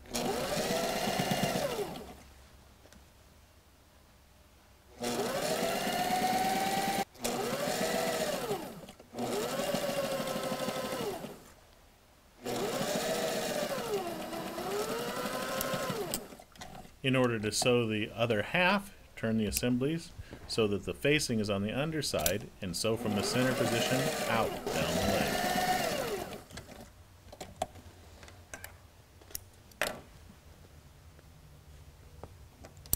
And while I'm here, I'm going to go ahead and make this corner at the bottom to go around the bottom of the cushion.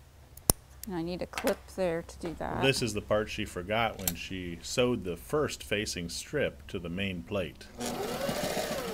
This may seem very complicated and confusing, but you can always go back to the opposite half that has not been cut apart or the seams have not been ripped apart, and you can look at it as a reference to what you should do now.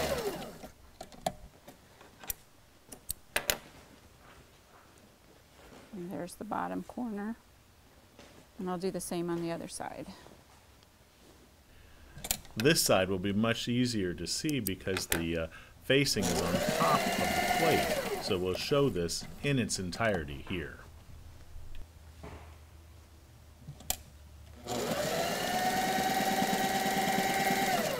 I'm going to put this back on so you can see where we're at and so that I can figure out where I'm at. Our back cushion is a lot more complicated than most recliner chairs. There are a lot of facing strips to give it its shape. Yours may not be this complicated, but we wanted to show the whole process. It's starting to look like the back cushion. We're not done yet. We need to add another facing strip. That's coming up next.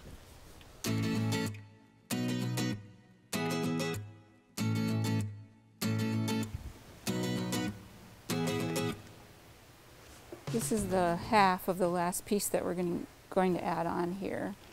And I'm going to build this whole piece before I add it to the front piece. But this is the part that pulls around the frame of the back. So I'm going to stitch it from here up and around after I get it built. And this already has the cording attached to the top, but you don't have very much to pull on right here. So I'm going to cut it the same size, but then I'm going to add a stretcher to it to give me something to pull on when I attach it to the frame. I've also marked um, top on this piece so I don't forget which is the top. And also on this piece. We'll cut this assembly apart, pattern it, then we'll sew it together as a complete assembly. That will be done before we sew it to the main assembly we just made in the previous chapter. You'll notice that it also includes some piping or sometimes referred to as cording. If you've not made enough of that previously, you'll need to make more for this. I'm going to make a mark right here where my cording stops. Like that. To help me remember that. And then this is the top piece that I cut in half initially.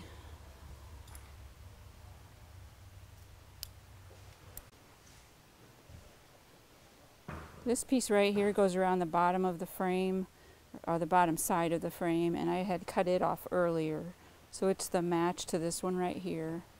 And I'm also going to mark the top on this one because all these pieces are just a little bit confusing. Upon careful inspection, this panel has seam edges and it also has staple edges. So the seam edges will be cut exactly to size, but the edges that are stapled on will be cut larger. And I'm giving myself a little bit of extra fabric right here because there wasn't much left when I pulled this off, so I have a little more to work with when I'm putting it back on.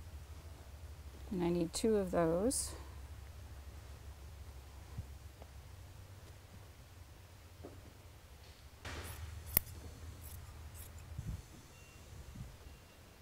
I'm going to put a pin on my new piece at the top and right here is where it was stitched so I'm going to put a pin over here also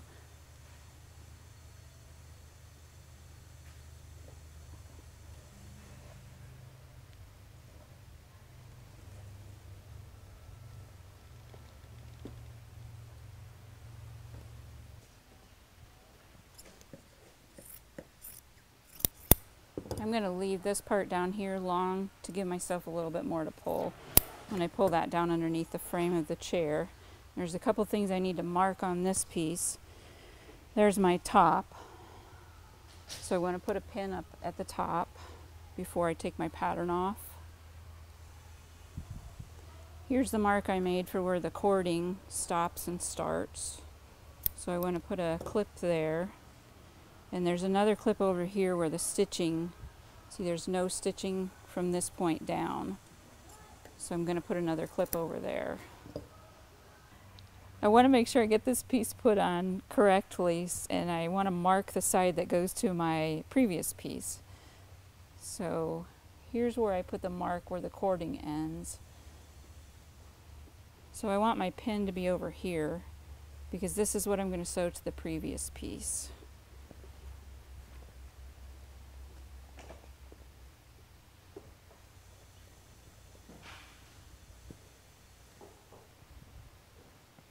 Which is this seam right here.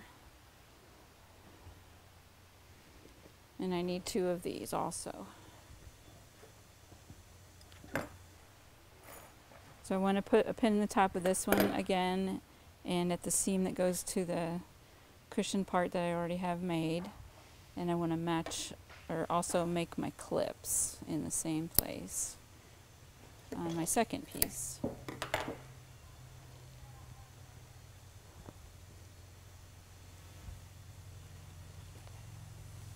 I try to line these up with the grain going the same as it was on the original piece even though it looks crooked. Um, there's a reason why it's laying that way, so I'm going to cut it the same way. I don't know if you can see the lines in this fabric. I'm trying to correspond with the up and down lines in the weave of this, this fabric also.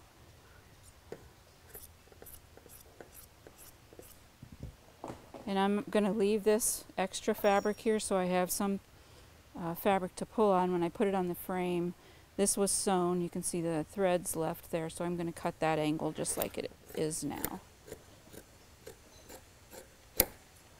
And there's a clip right here that I'm going to mark. What's the clip for? I don't know yet. Okay. but it's there, so I'm going to mark it. so this is the side I'm going to sew, and this is the top. And I also need two of these. This is the piece that I cut in half initially, so I'm going to um, just cut half of it and then fold it over and cut the other half. Okay, I'm going to take this section off because we already have this part attached to our the front of our cushion so that you can see what I'm doing as I'm putting this last part together. Okay, so here's our this is what goes across the top, and this is the first seam I'm going to do right here, which is this piece. So I want to put right sides together and stitch right down here.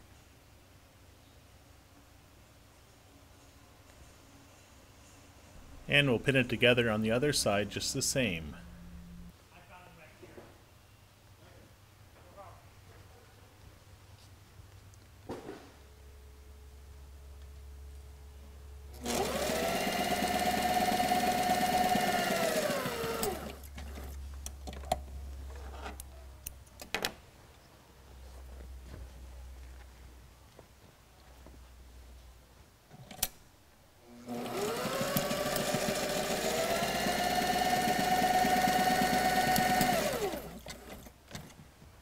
going to lay these pieces back on so you can see what we just built.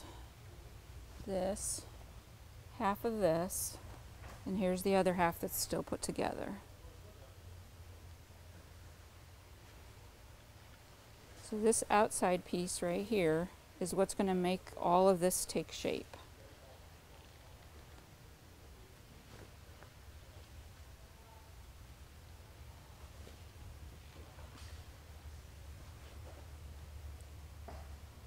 There is this side piece right here. You will now see why it's important to keep one half together. It gets a little bit confusing. As long as you have that as a reference, you should be able to figure it out. And I'm missing a clip in this one. Oh, there it is right there.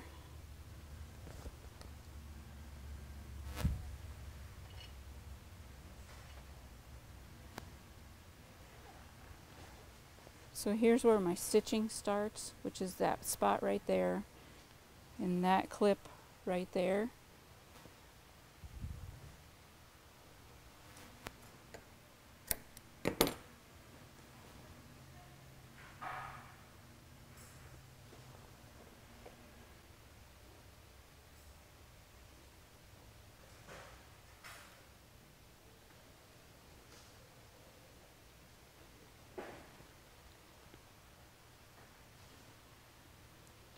That's going to come around there and make this corner right here. First we need to add the cording in. So I'm going to unpin this so that we can add the cording in. And the cording starts at this clip right here. So it goes all the way up and around this edge and then back down to the clip on the other side. So here's the piece that I showed you which is this one, that makes the shape of the side. And here's where the cording starts, which is actually the bottom corner of this piece, and it goes up and around the back.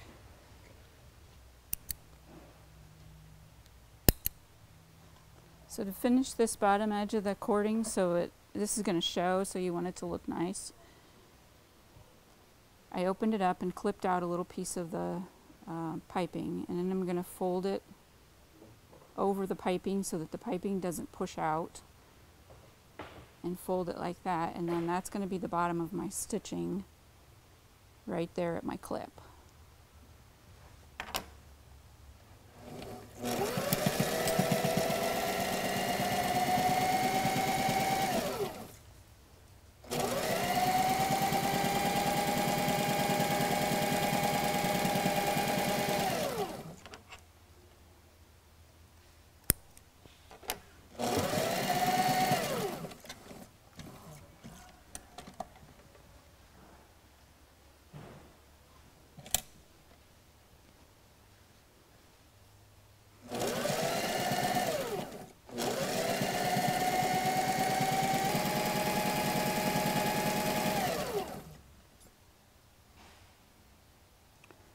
So here's my clip and I'm going to cut this a little bit longer, maybe an inch or so longer than where I want it to stop.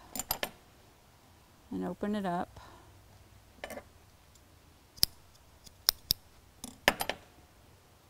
And clip the cording off at the same spot as my clip.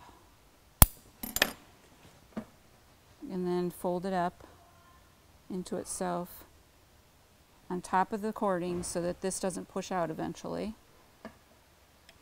and stitch over it.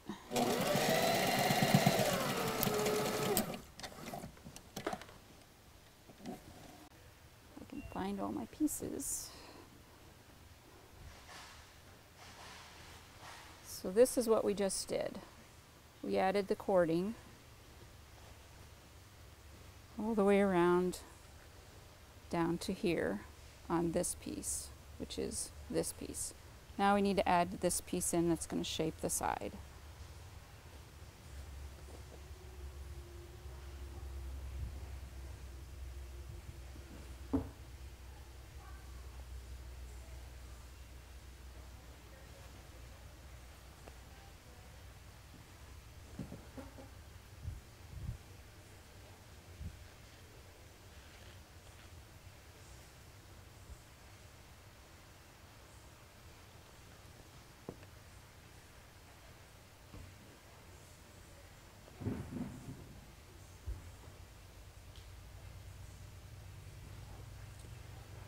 So those two clips match at the bottom, and this is why I cut my piece together because this gets a little confusing. This right here is this point right here. This corner is this corner right here. So I want this corner to meet at the end of the piping, and then that makes this side When I stitch this edge, it will make this side of this piece. Hopefully it'll be a little clearer after I get it put together.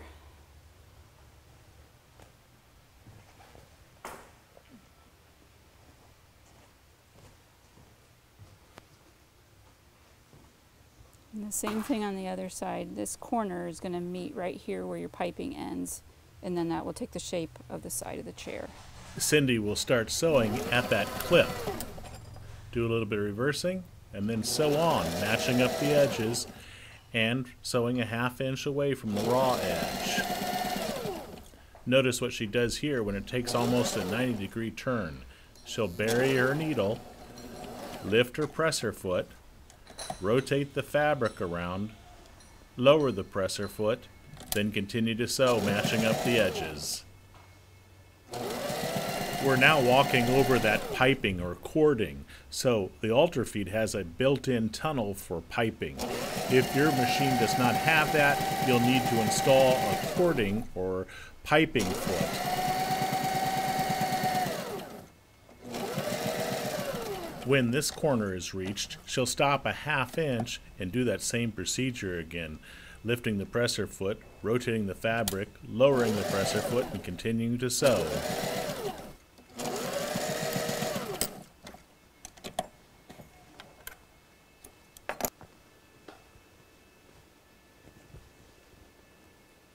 So there's the piece that pulls around the outside frame of the chair. We'll now do that same procedure to the other side, but it'll obviously be flipped the other direction, facing strip on top. We'll not show all of this. Here's the other side of the outside frame. This is the part that goes along the back of the chair, and this pulls along the side. Here's where I want to add a stretcher, because that doesn't give me very much to grab onto to pull, so I'll do that in just a minute. But that's what that piece looks like. The fabric pole is probably not necessary along this edge because this will be the first edge that gets stapled down. Let's fast forward and take a look at that on the finished assembly being stapled to the frame. This is where I added the extra stretcher because there wasn't much to pull on right there. So I'm just going to put a couple staples in this at the top. You can see here, all we needed is really that piping to be along the edge of the frame. The fabric pole that's been added was probably not necessary. Let's go back to our project again. We're going to show Cindy putting the fabric pole on anyway. I'm just going to use this uh, piece of dust cover to add on to here and this old piece so that it goes all the way to the end. I'm not going to sew this yet. But it goes from where I stopped at this corner over to the other corner. We're ready to attach this piece to the back cushion. This is what wraps around the frame of the uh, back of the chair. So it's going to get sewn down to this clip right here. And then this piece gets sewn the rest of the way to finish it off. And then on the old piece, there was a little stretcher that went across the bottom. So I'm going to replace this with fabric, um, but I do need to cut it out and add it as I'm adding these other pieces. It's actually attached to this piece right here. The stretcher here is very important. So I'm just going to cut it out of a scrap piece of fabric. And if I look at the way it's attached right here, it's attached to this piece.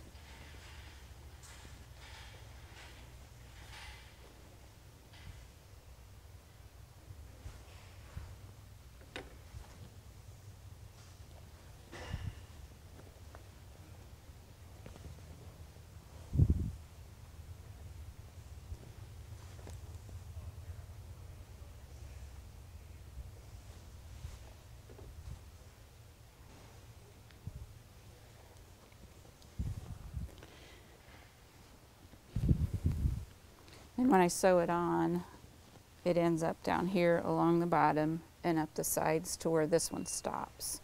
So that's the next step for me at the sewing machine. I also have a stretcher pinned across the top right here And there wasn't one there originally, but because there's such a little bit to pull with right here, I'm going to add this piece on to give myself a little more uh, fabric to pull on. So I'm going to do that first. This is a stretcher we didn't really need, but it won't hurt installing it anyway.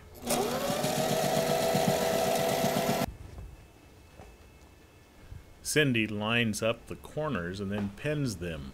Just do that on both edges here.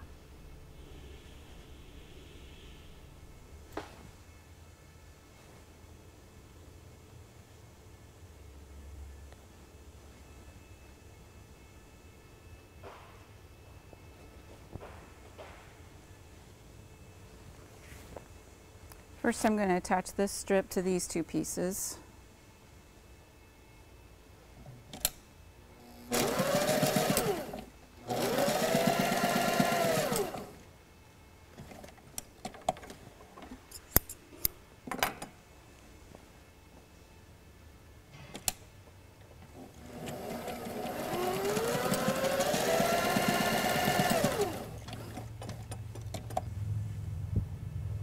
This will go around the sides and the bottom. And this piece I am going to start sewing at this clip that I have in both pieces and go up and around to the other clip.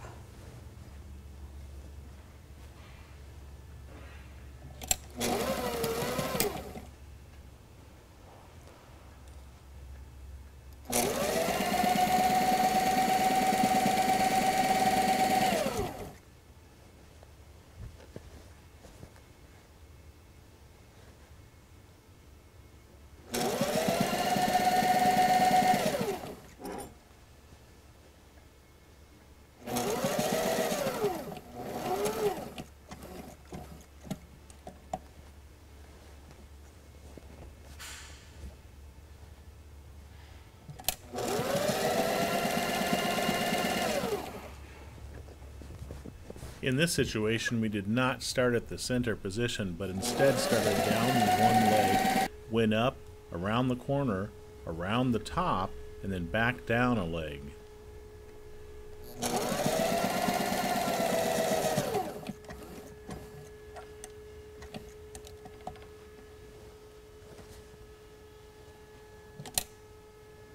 And here we come to the other side where the clip is. And here's the two clips where I need to stop this piece, stop stitching this piece.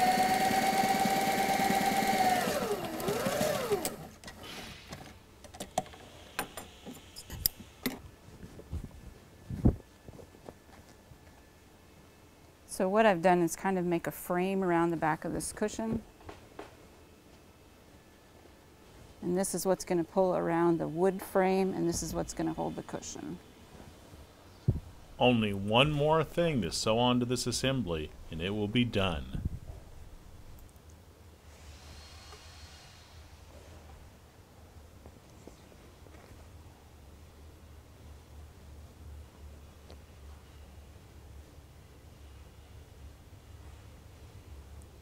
And I'll start stitching this piece where I stopped this piece.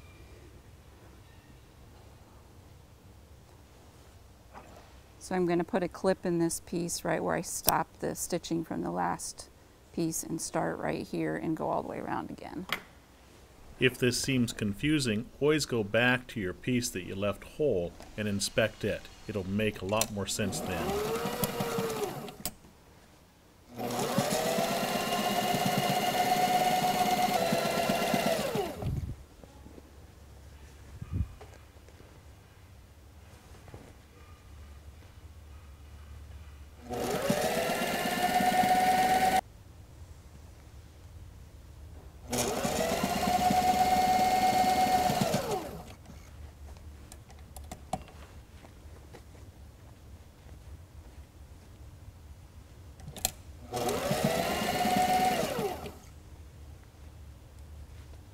We're coming down to that second clip.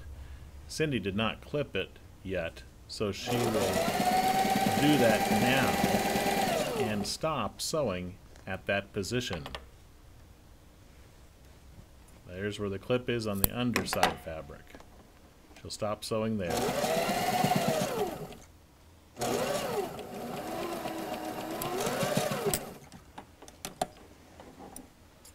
I also need another stretcher at this point to pull this part, attach it to the frame. And I'm just going to use a piece of the old fabric to sew across the top from here to here. This is an important stretcher to install.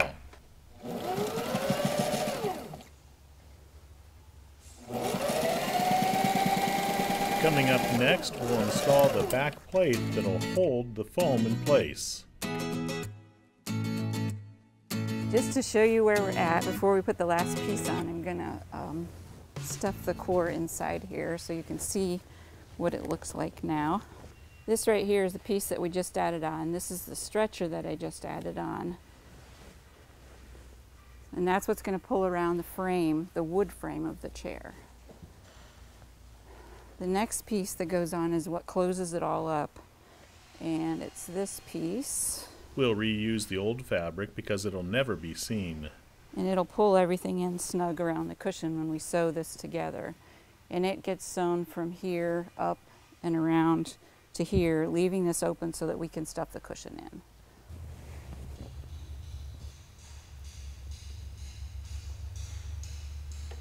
So I usually just put a couple of pins in the corners on this to make sure that it's going to land in the right place and then stitch around the three sides.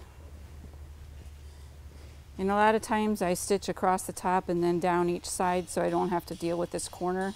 Um, I can stitch straight across there and then come back and stitch straight down because there's actually a lot of bulk at this corner and then you don't have to worry about getting that right if you stitch it, stitch it in three sections.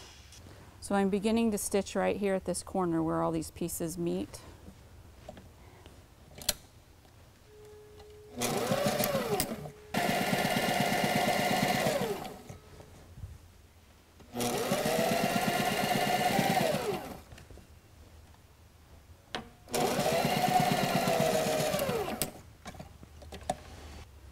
So I'm going to pull this around the corner here and I'm not going to try to stitch this corner right here because it's so bulky. I'm going to start about an inch down and then go down the side. The only thing this black fabric does is hold the foam up against the cushion. There are springs directly behind it and it will be hidden from view.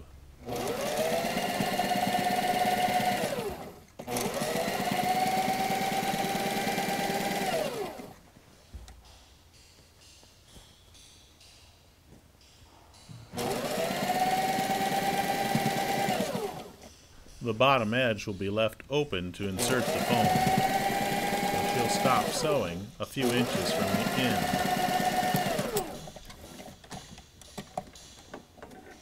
When you stitch this side, you want to make sure that you keep all these stretchers out of the way so that you don't stitch them down. These need to be free to wrap around the frame of the chair.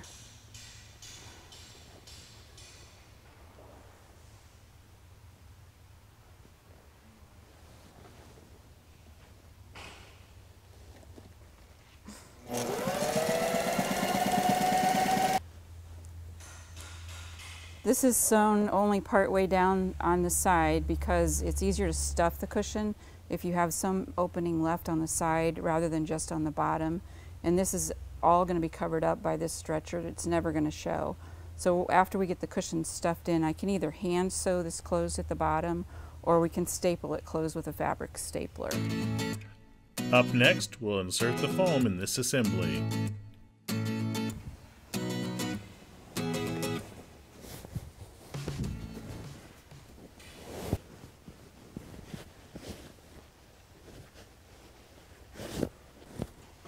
So here's what the back looks like. This is the piece that we just added on and we'll need to close it up down here after we are happy with the way the front looks. We have a little bit of uh, extra fabric right here so I'm going to stuff that with this polyester fiber fill and I also need to make sure that the seams are all going one way so that the edges look smooth. So I'm going to stick my hand in there and get all those in order and then stuff these little corners right here. Cindy's being sure the half inch tail that creates the seam is going the same direction on all the seams. A little bit of fiber fill can help solve any issues with edges or corners or areas that are voids. Fiberfill is ordered in a 10 pound bag at Sailrite. After I have the front all um, looking how I want it to, I need to pin this together down here and I make want to make sure I leave this stretcher free. Don't sew that closed. And this does not have to be pretty, no one's ever going to see it.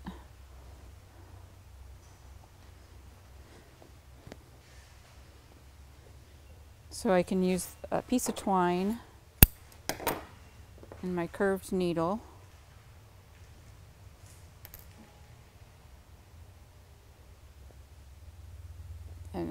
And I am just taking a really big stitch here just to keep it closed at the bottom and catching the black fabric in the seam at the bottom of the piece.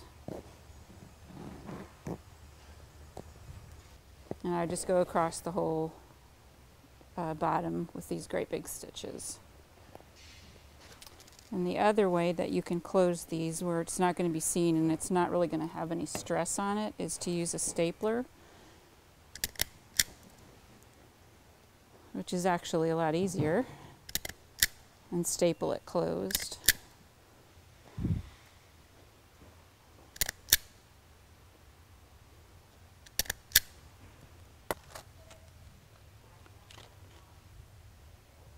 on the other side?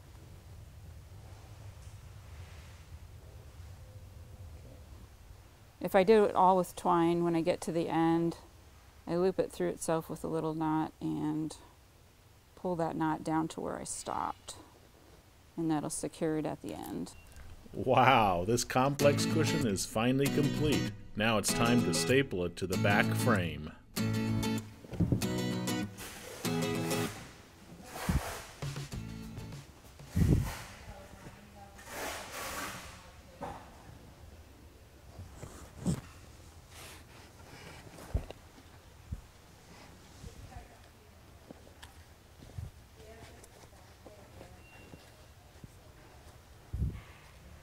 Okay, I'm going to start um, attaching this to the frame and I'm going to start here at the top where this cording needs to rest right along the top edge.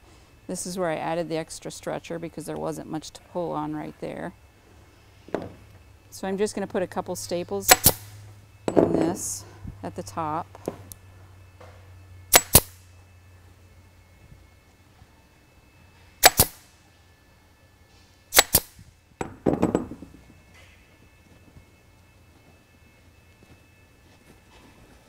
And this is the other stretcher that I added on when I was stitching it all together.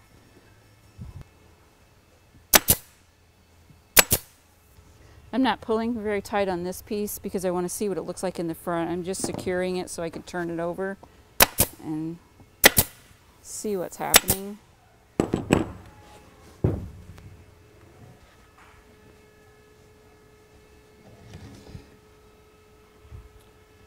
This is the stretcher that I added at the very bottom and it gets attached right across here.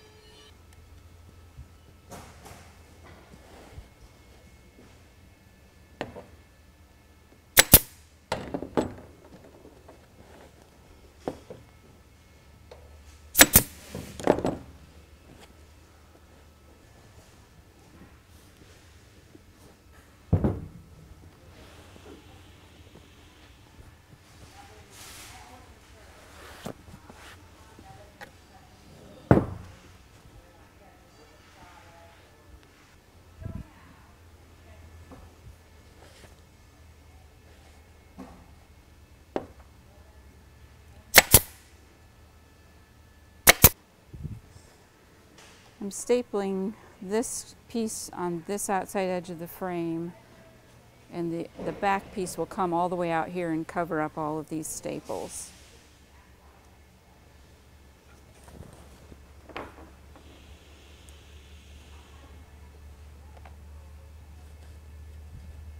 I'm going to just kind of go all the way around the chair and put in a few staples on each piece until I make sure I have this where I want it. So if I have to change anything, I don't have so many staples to remove. You can see this one was stapled right here from where the old staples are. And then this piece was pulled back around to this edge.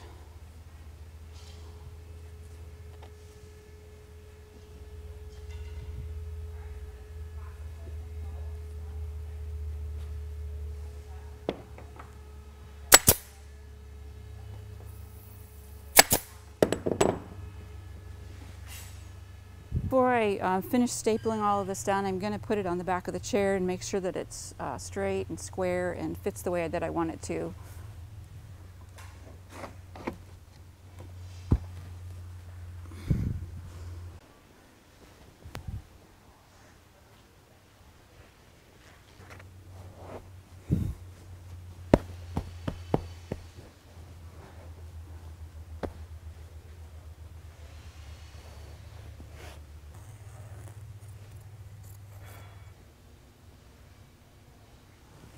When we look at the top of the chair up here, it looks a little bit loose, and this is the stretcher that I didn't pull very tight.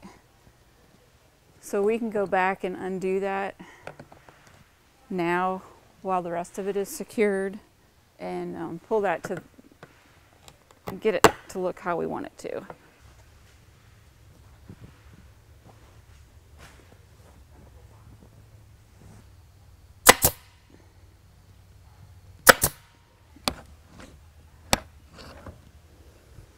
Okay, um, I put it in the chair and I'm satisfied with the way the front of the cushion looks, so I'm going to um, tack all the rest of this down.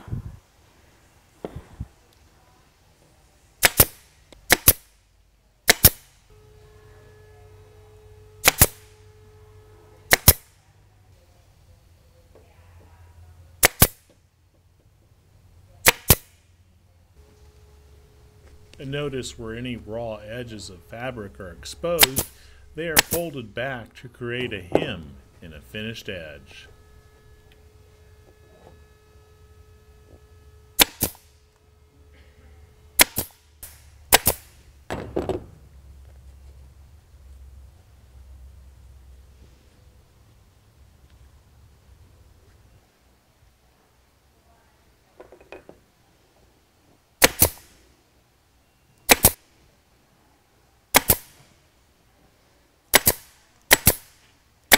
Here's a little void that can be filled easily with a polyester fiber fill from Sailrite.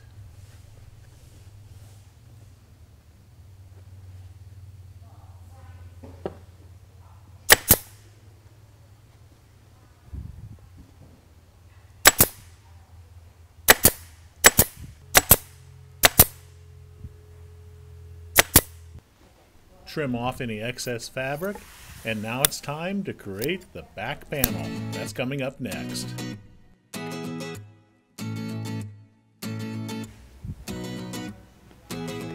I can see when my um, outside back goes on that there's nothing, um, just stitching on this. There's no tacks or staples or anything.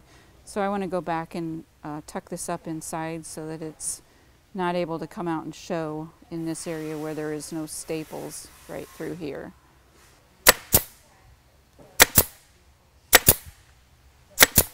I'm checking out how this back piece is made before I take it all apart. And it looks like it was uh, stapled in here kind of loosely. And then this pulls around. Velcro there, Velcro at the bottom, and a piece of elastic to keep it all tucked in. So I'm going to cut a piece, um, I'm going to cut off the Velcro, cut off the elastic and mark where the elastic was and cut a piece the same size as this is. So this is where the Velcro is attached. I'm just marking that so I get it in the right place on the new piece, or the elastic, excuse me.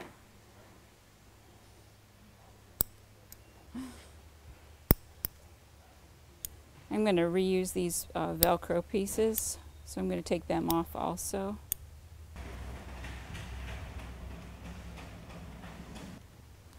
I'm just folding this in half so I can get my piece on the center of the of this paisley.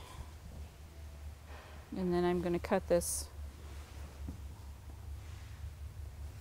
to the same size as the original. I'm just going to make sure that I add for this to be turned under here and this to be turned under here.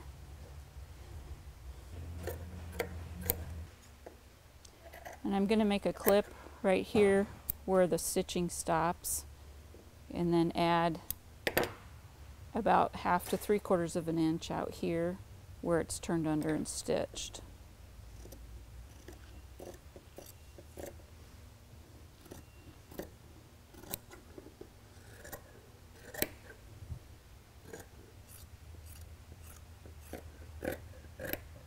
And the same thing here, I'm going to clip where the stitching stops and then add on this edge because this is turned under and stitched.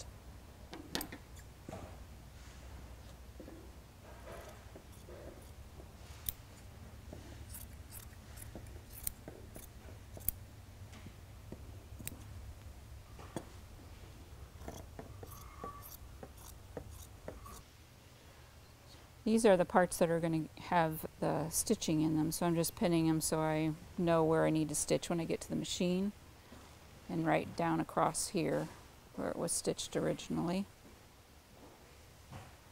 And while I'm doing that stitching, I'm going to add this elastic back in where I marked it on my new piece.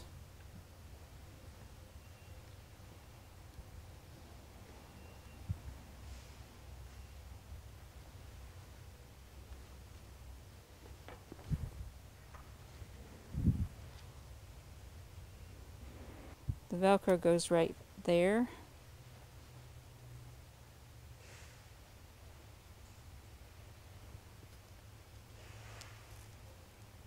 So I'll go ahead and pin that in place also and try to do this kind of in one step.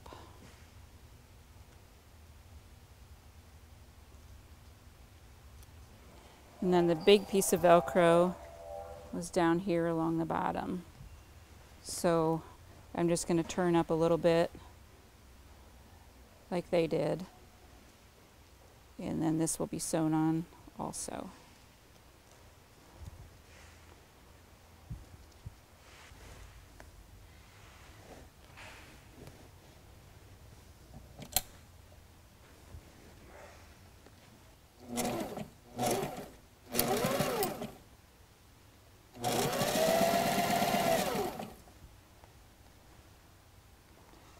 Right here at this spot, I just clipped that so that it could spread open and lay flat. So I'm just going to stitch right around that corner.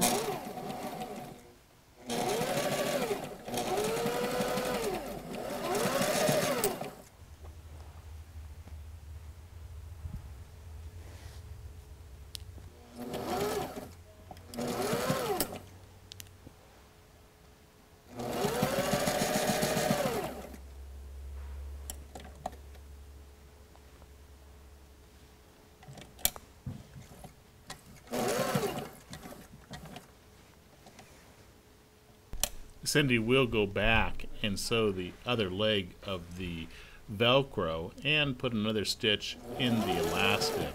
She'll do that after she sews around the perimeter where necessary.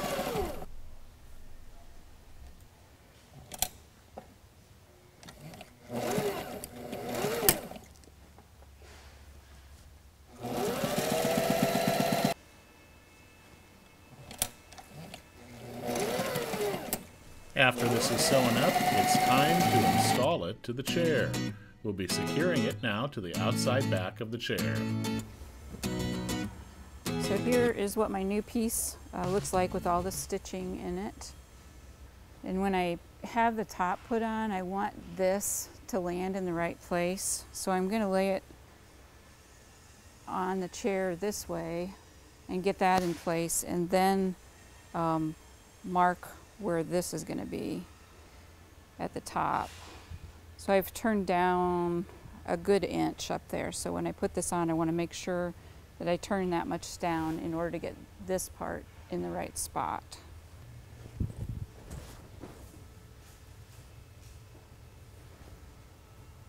And I'll start in the middle and work my way out with the cardboard tack strip.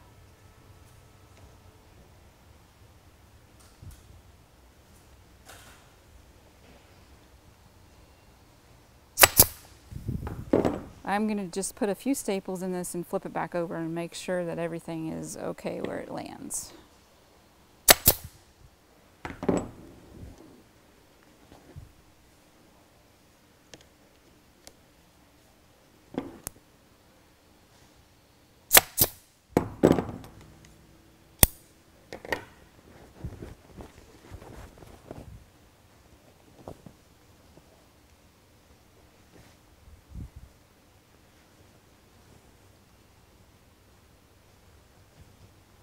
That looks better. Then this corner right here is going to end up on this corner right here.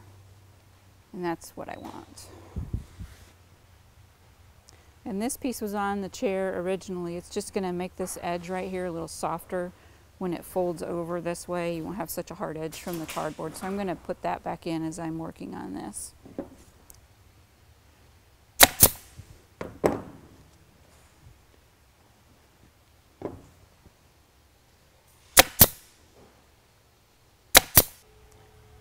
This area right here uh, gets a metal tack strip in it, so I'm just going to measure how long I need it to be and uh, snip it off down here.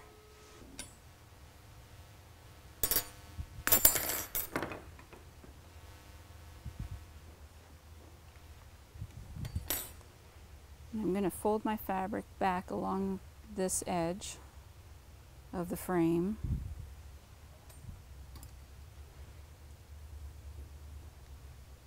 Put the tack strip so that this edge of the tack strip is along this edge of my fold.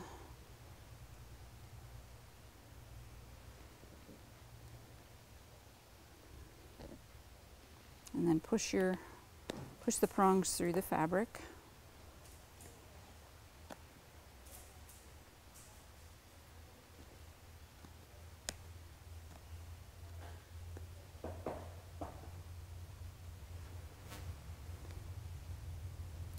Fold it back to the inside.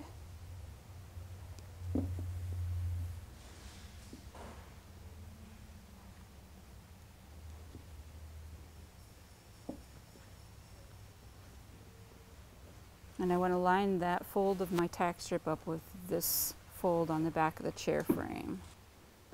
And just start tapping on the nails all the way down and just keep tapping until the whole thing is in.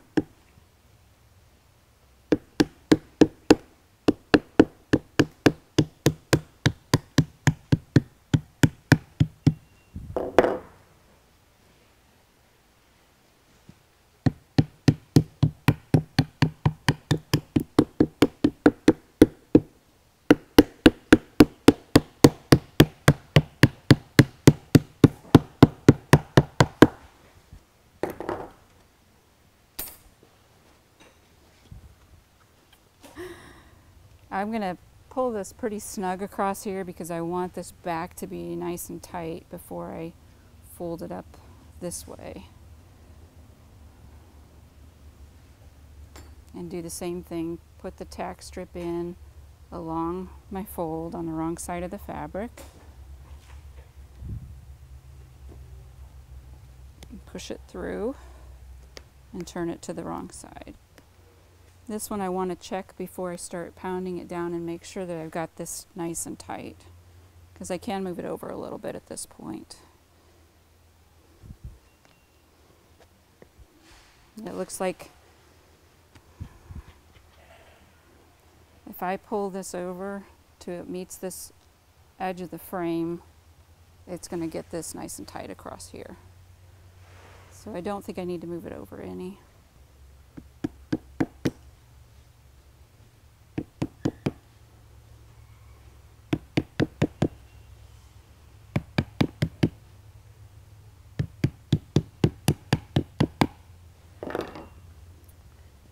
This will tighten up more when this Velcro is attached to the bottom of the chair, but I can't do that without the chair frame.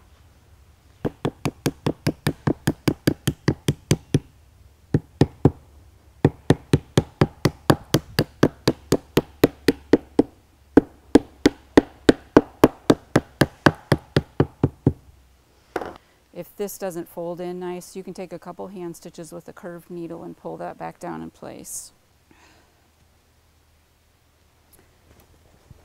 Now we can see on the old piece, this section right here that had the staples in it is this part right here. So I'm going to open this up and kind of do it backwards and attach it to this part of the frame with just a few staples. And I want to make sure that I'm doing it so that this part is pulled nice and smooth down.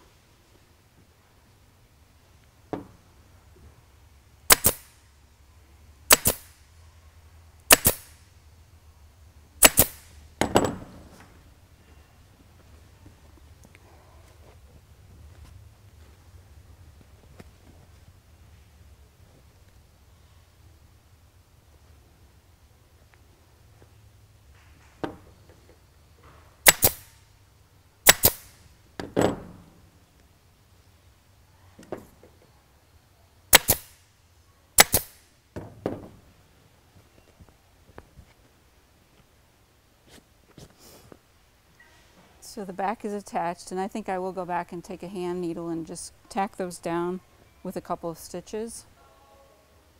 And I'm going to double it and just put a knot in the end of it and bury the knot. So when I say I want to bury the knot, I'm going to start uh, stitching up here and then when I pull this through the knot's going to end up on the inside. And I'm just going to grab a little bit of this frame fabric and a little bit of that, uh, the outside back fabric.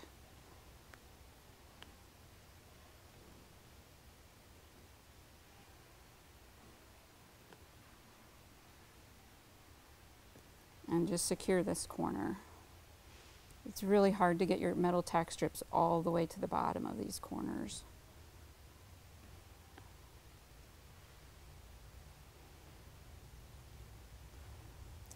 And I don't usually put a knot at the other end. I just do a few stitches out away from where I stopped to secure it.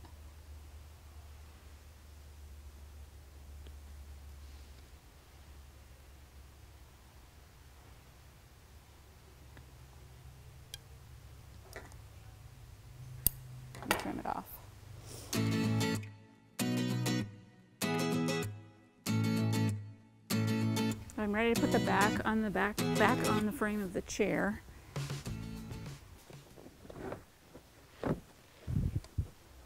See, this little piece of Velcro is attached on this side of the frame over here. So we can pull that down and the piece of elastic comes down and underneath this board.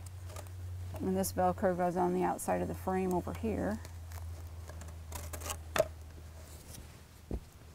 And then this pulls down and the Velcro for this piece is on the back side of this frame piece and that tightens everything up in the back. And the reason why they make the chair this way is so that you can open it up and get to those brackets to lift the back off.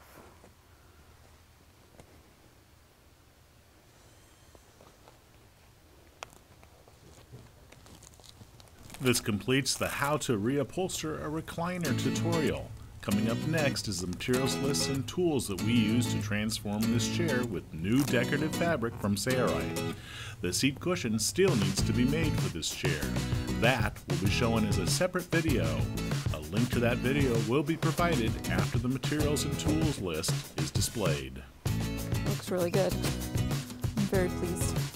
All the materials you need to reupholster your chair are available at www.sailrite.com. There you will also find hundreds of great decorative fabrics for your next project. Here's the list of tools that we used for this video. Notice that most of these tools are included in the upholstery toolkit available at Sailrite. Click on a video to see more upholstery projects like this. The video at the bottom will show how to complete the seat cushion for this chair. For more free videos like this, be sure to check out the Sailrite website or subscribe to the Sailrite YouTube channel. It's your loyal patronage to Sailrite that makes these free videos available. Thanks for your loyal support. I'm Eric Grant, and from all of us here at Sailrite, thanks for watching.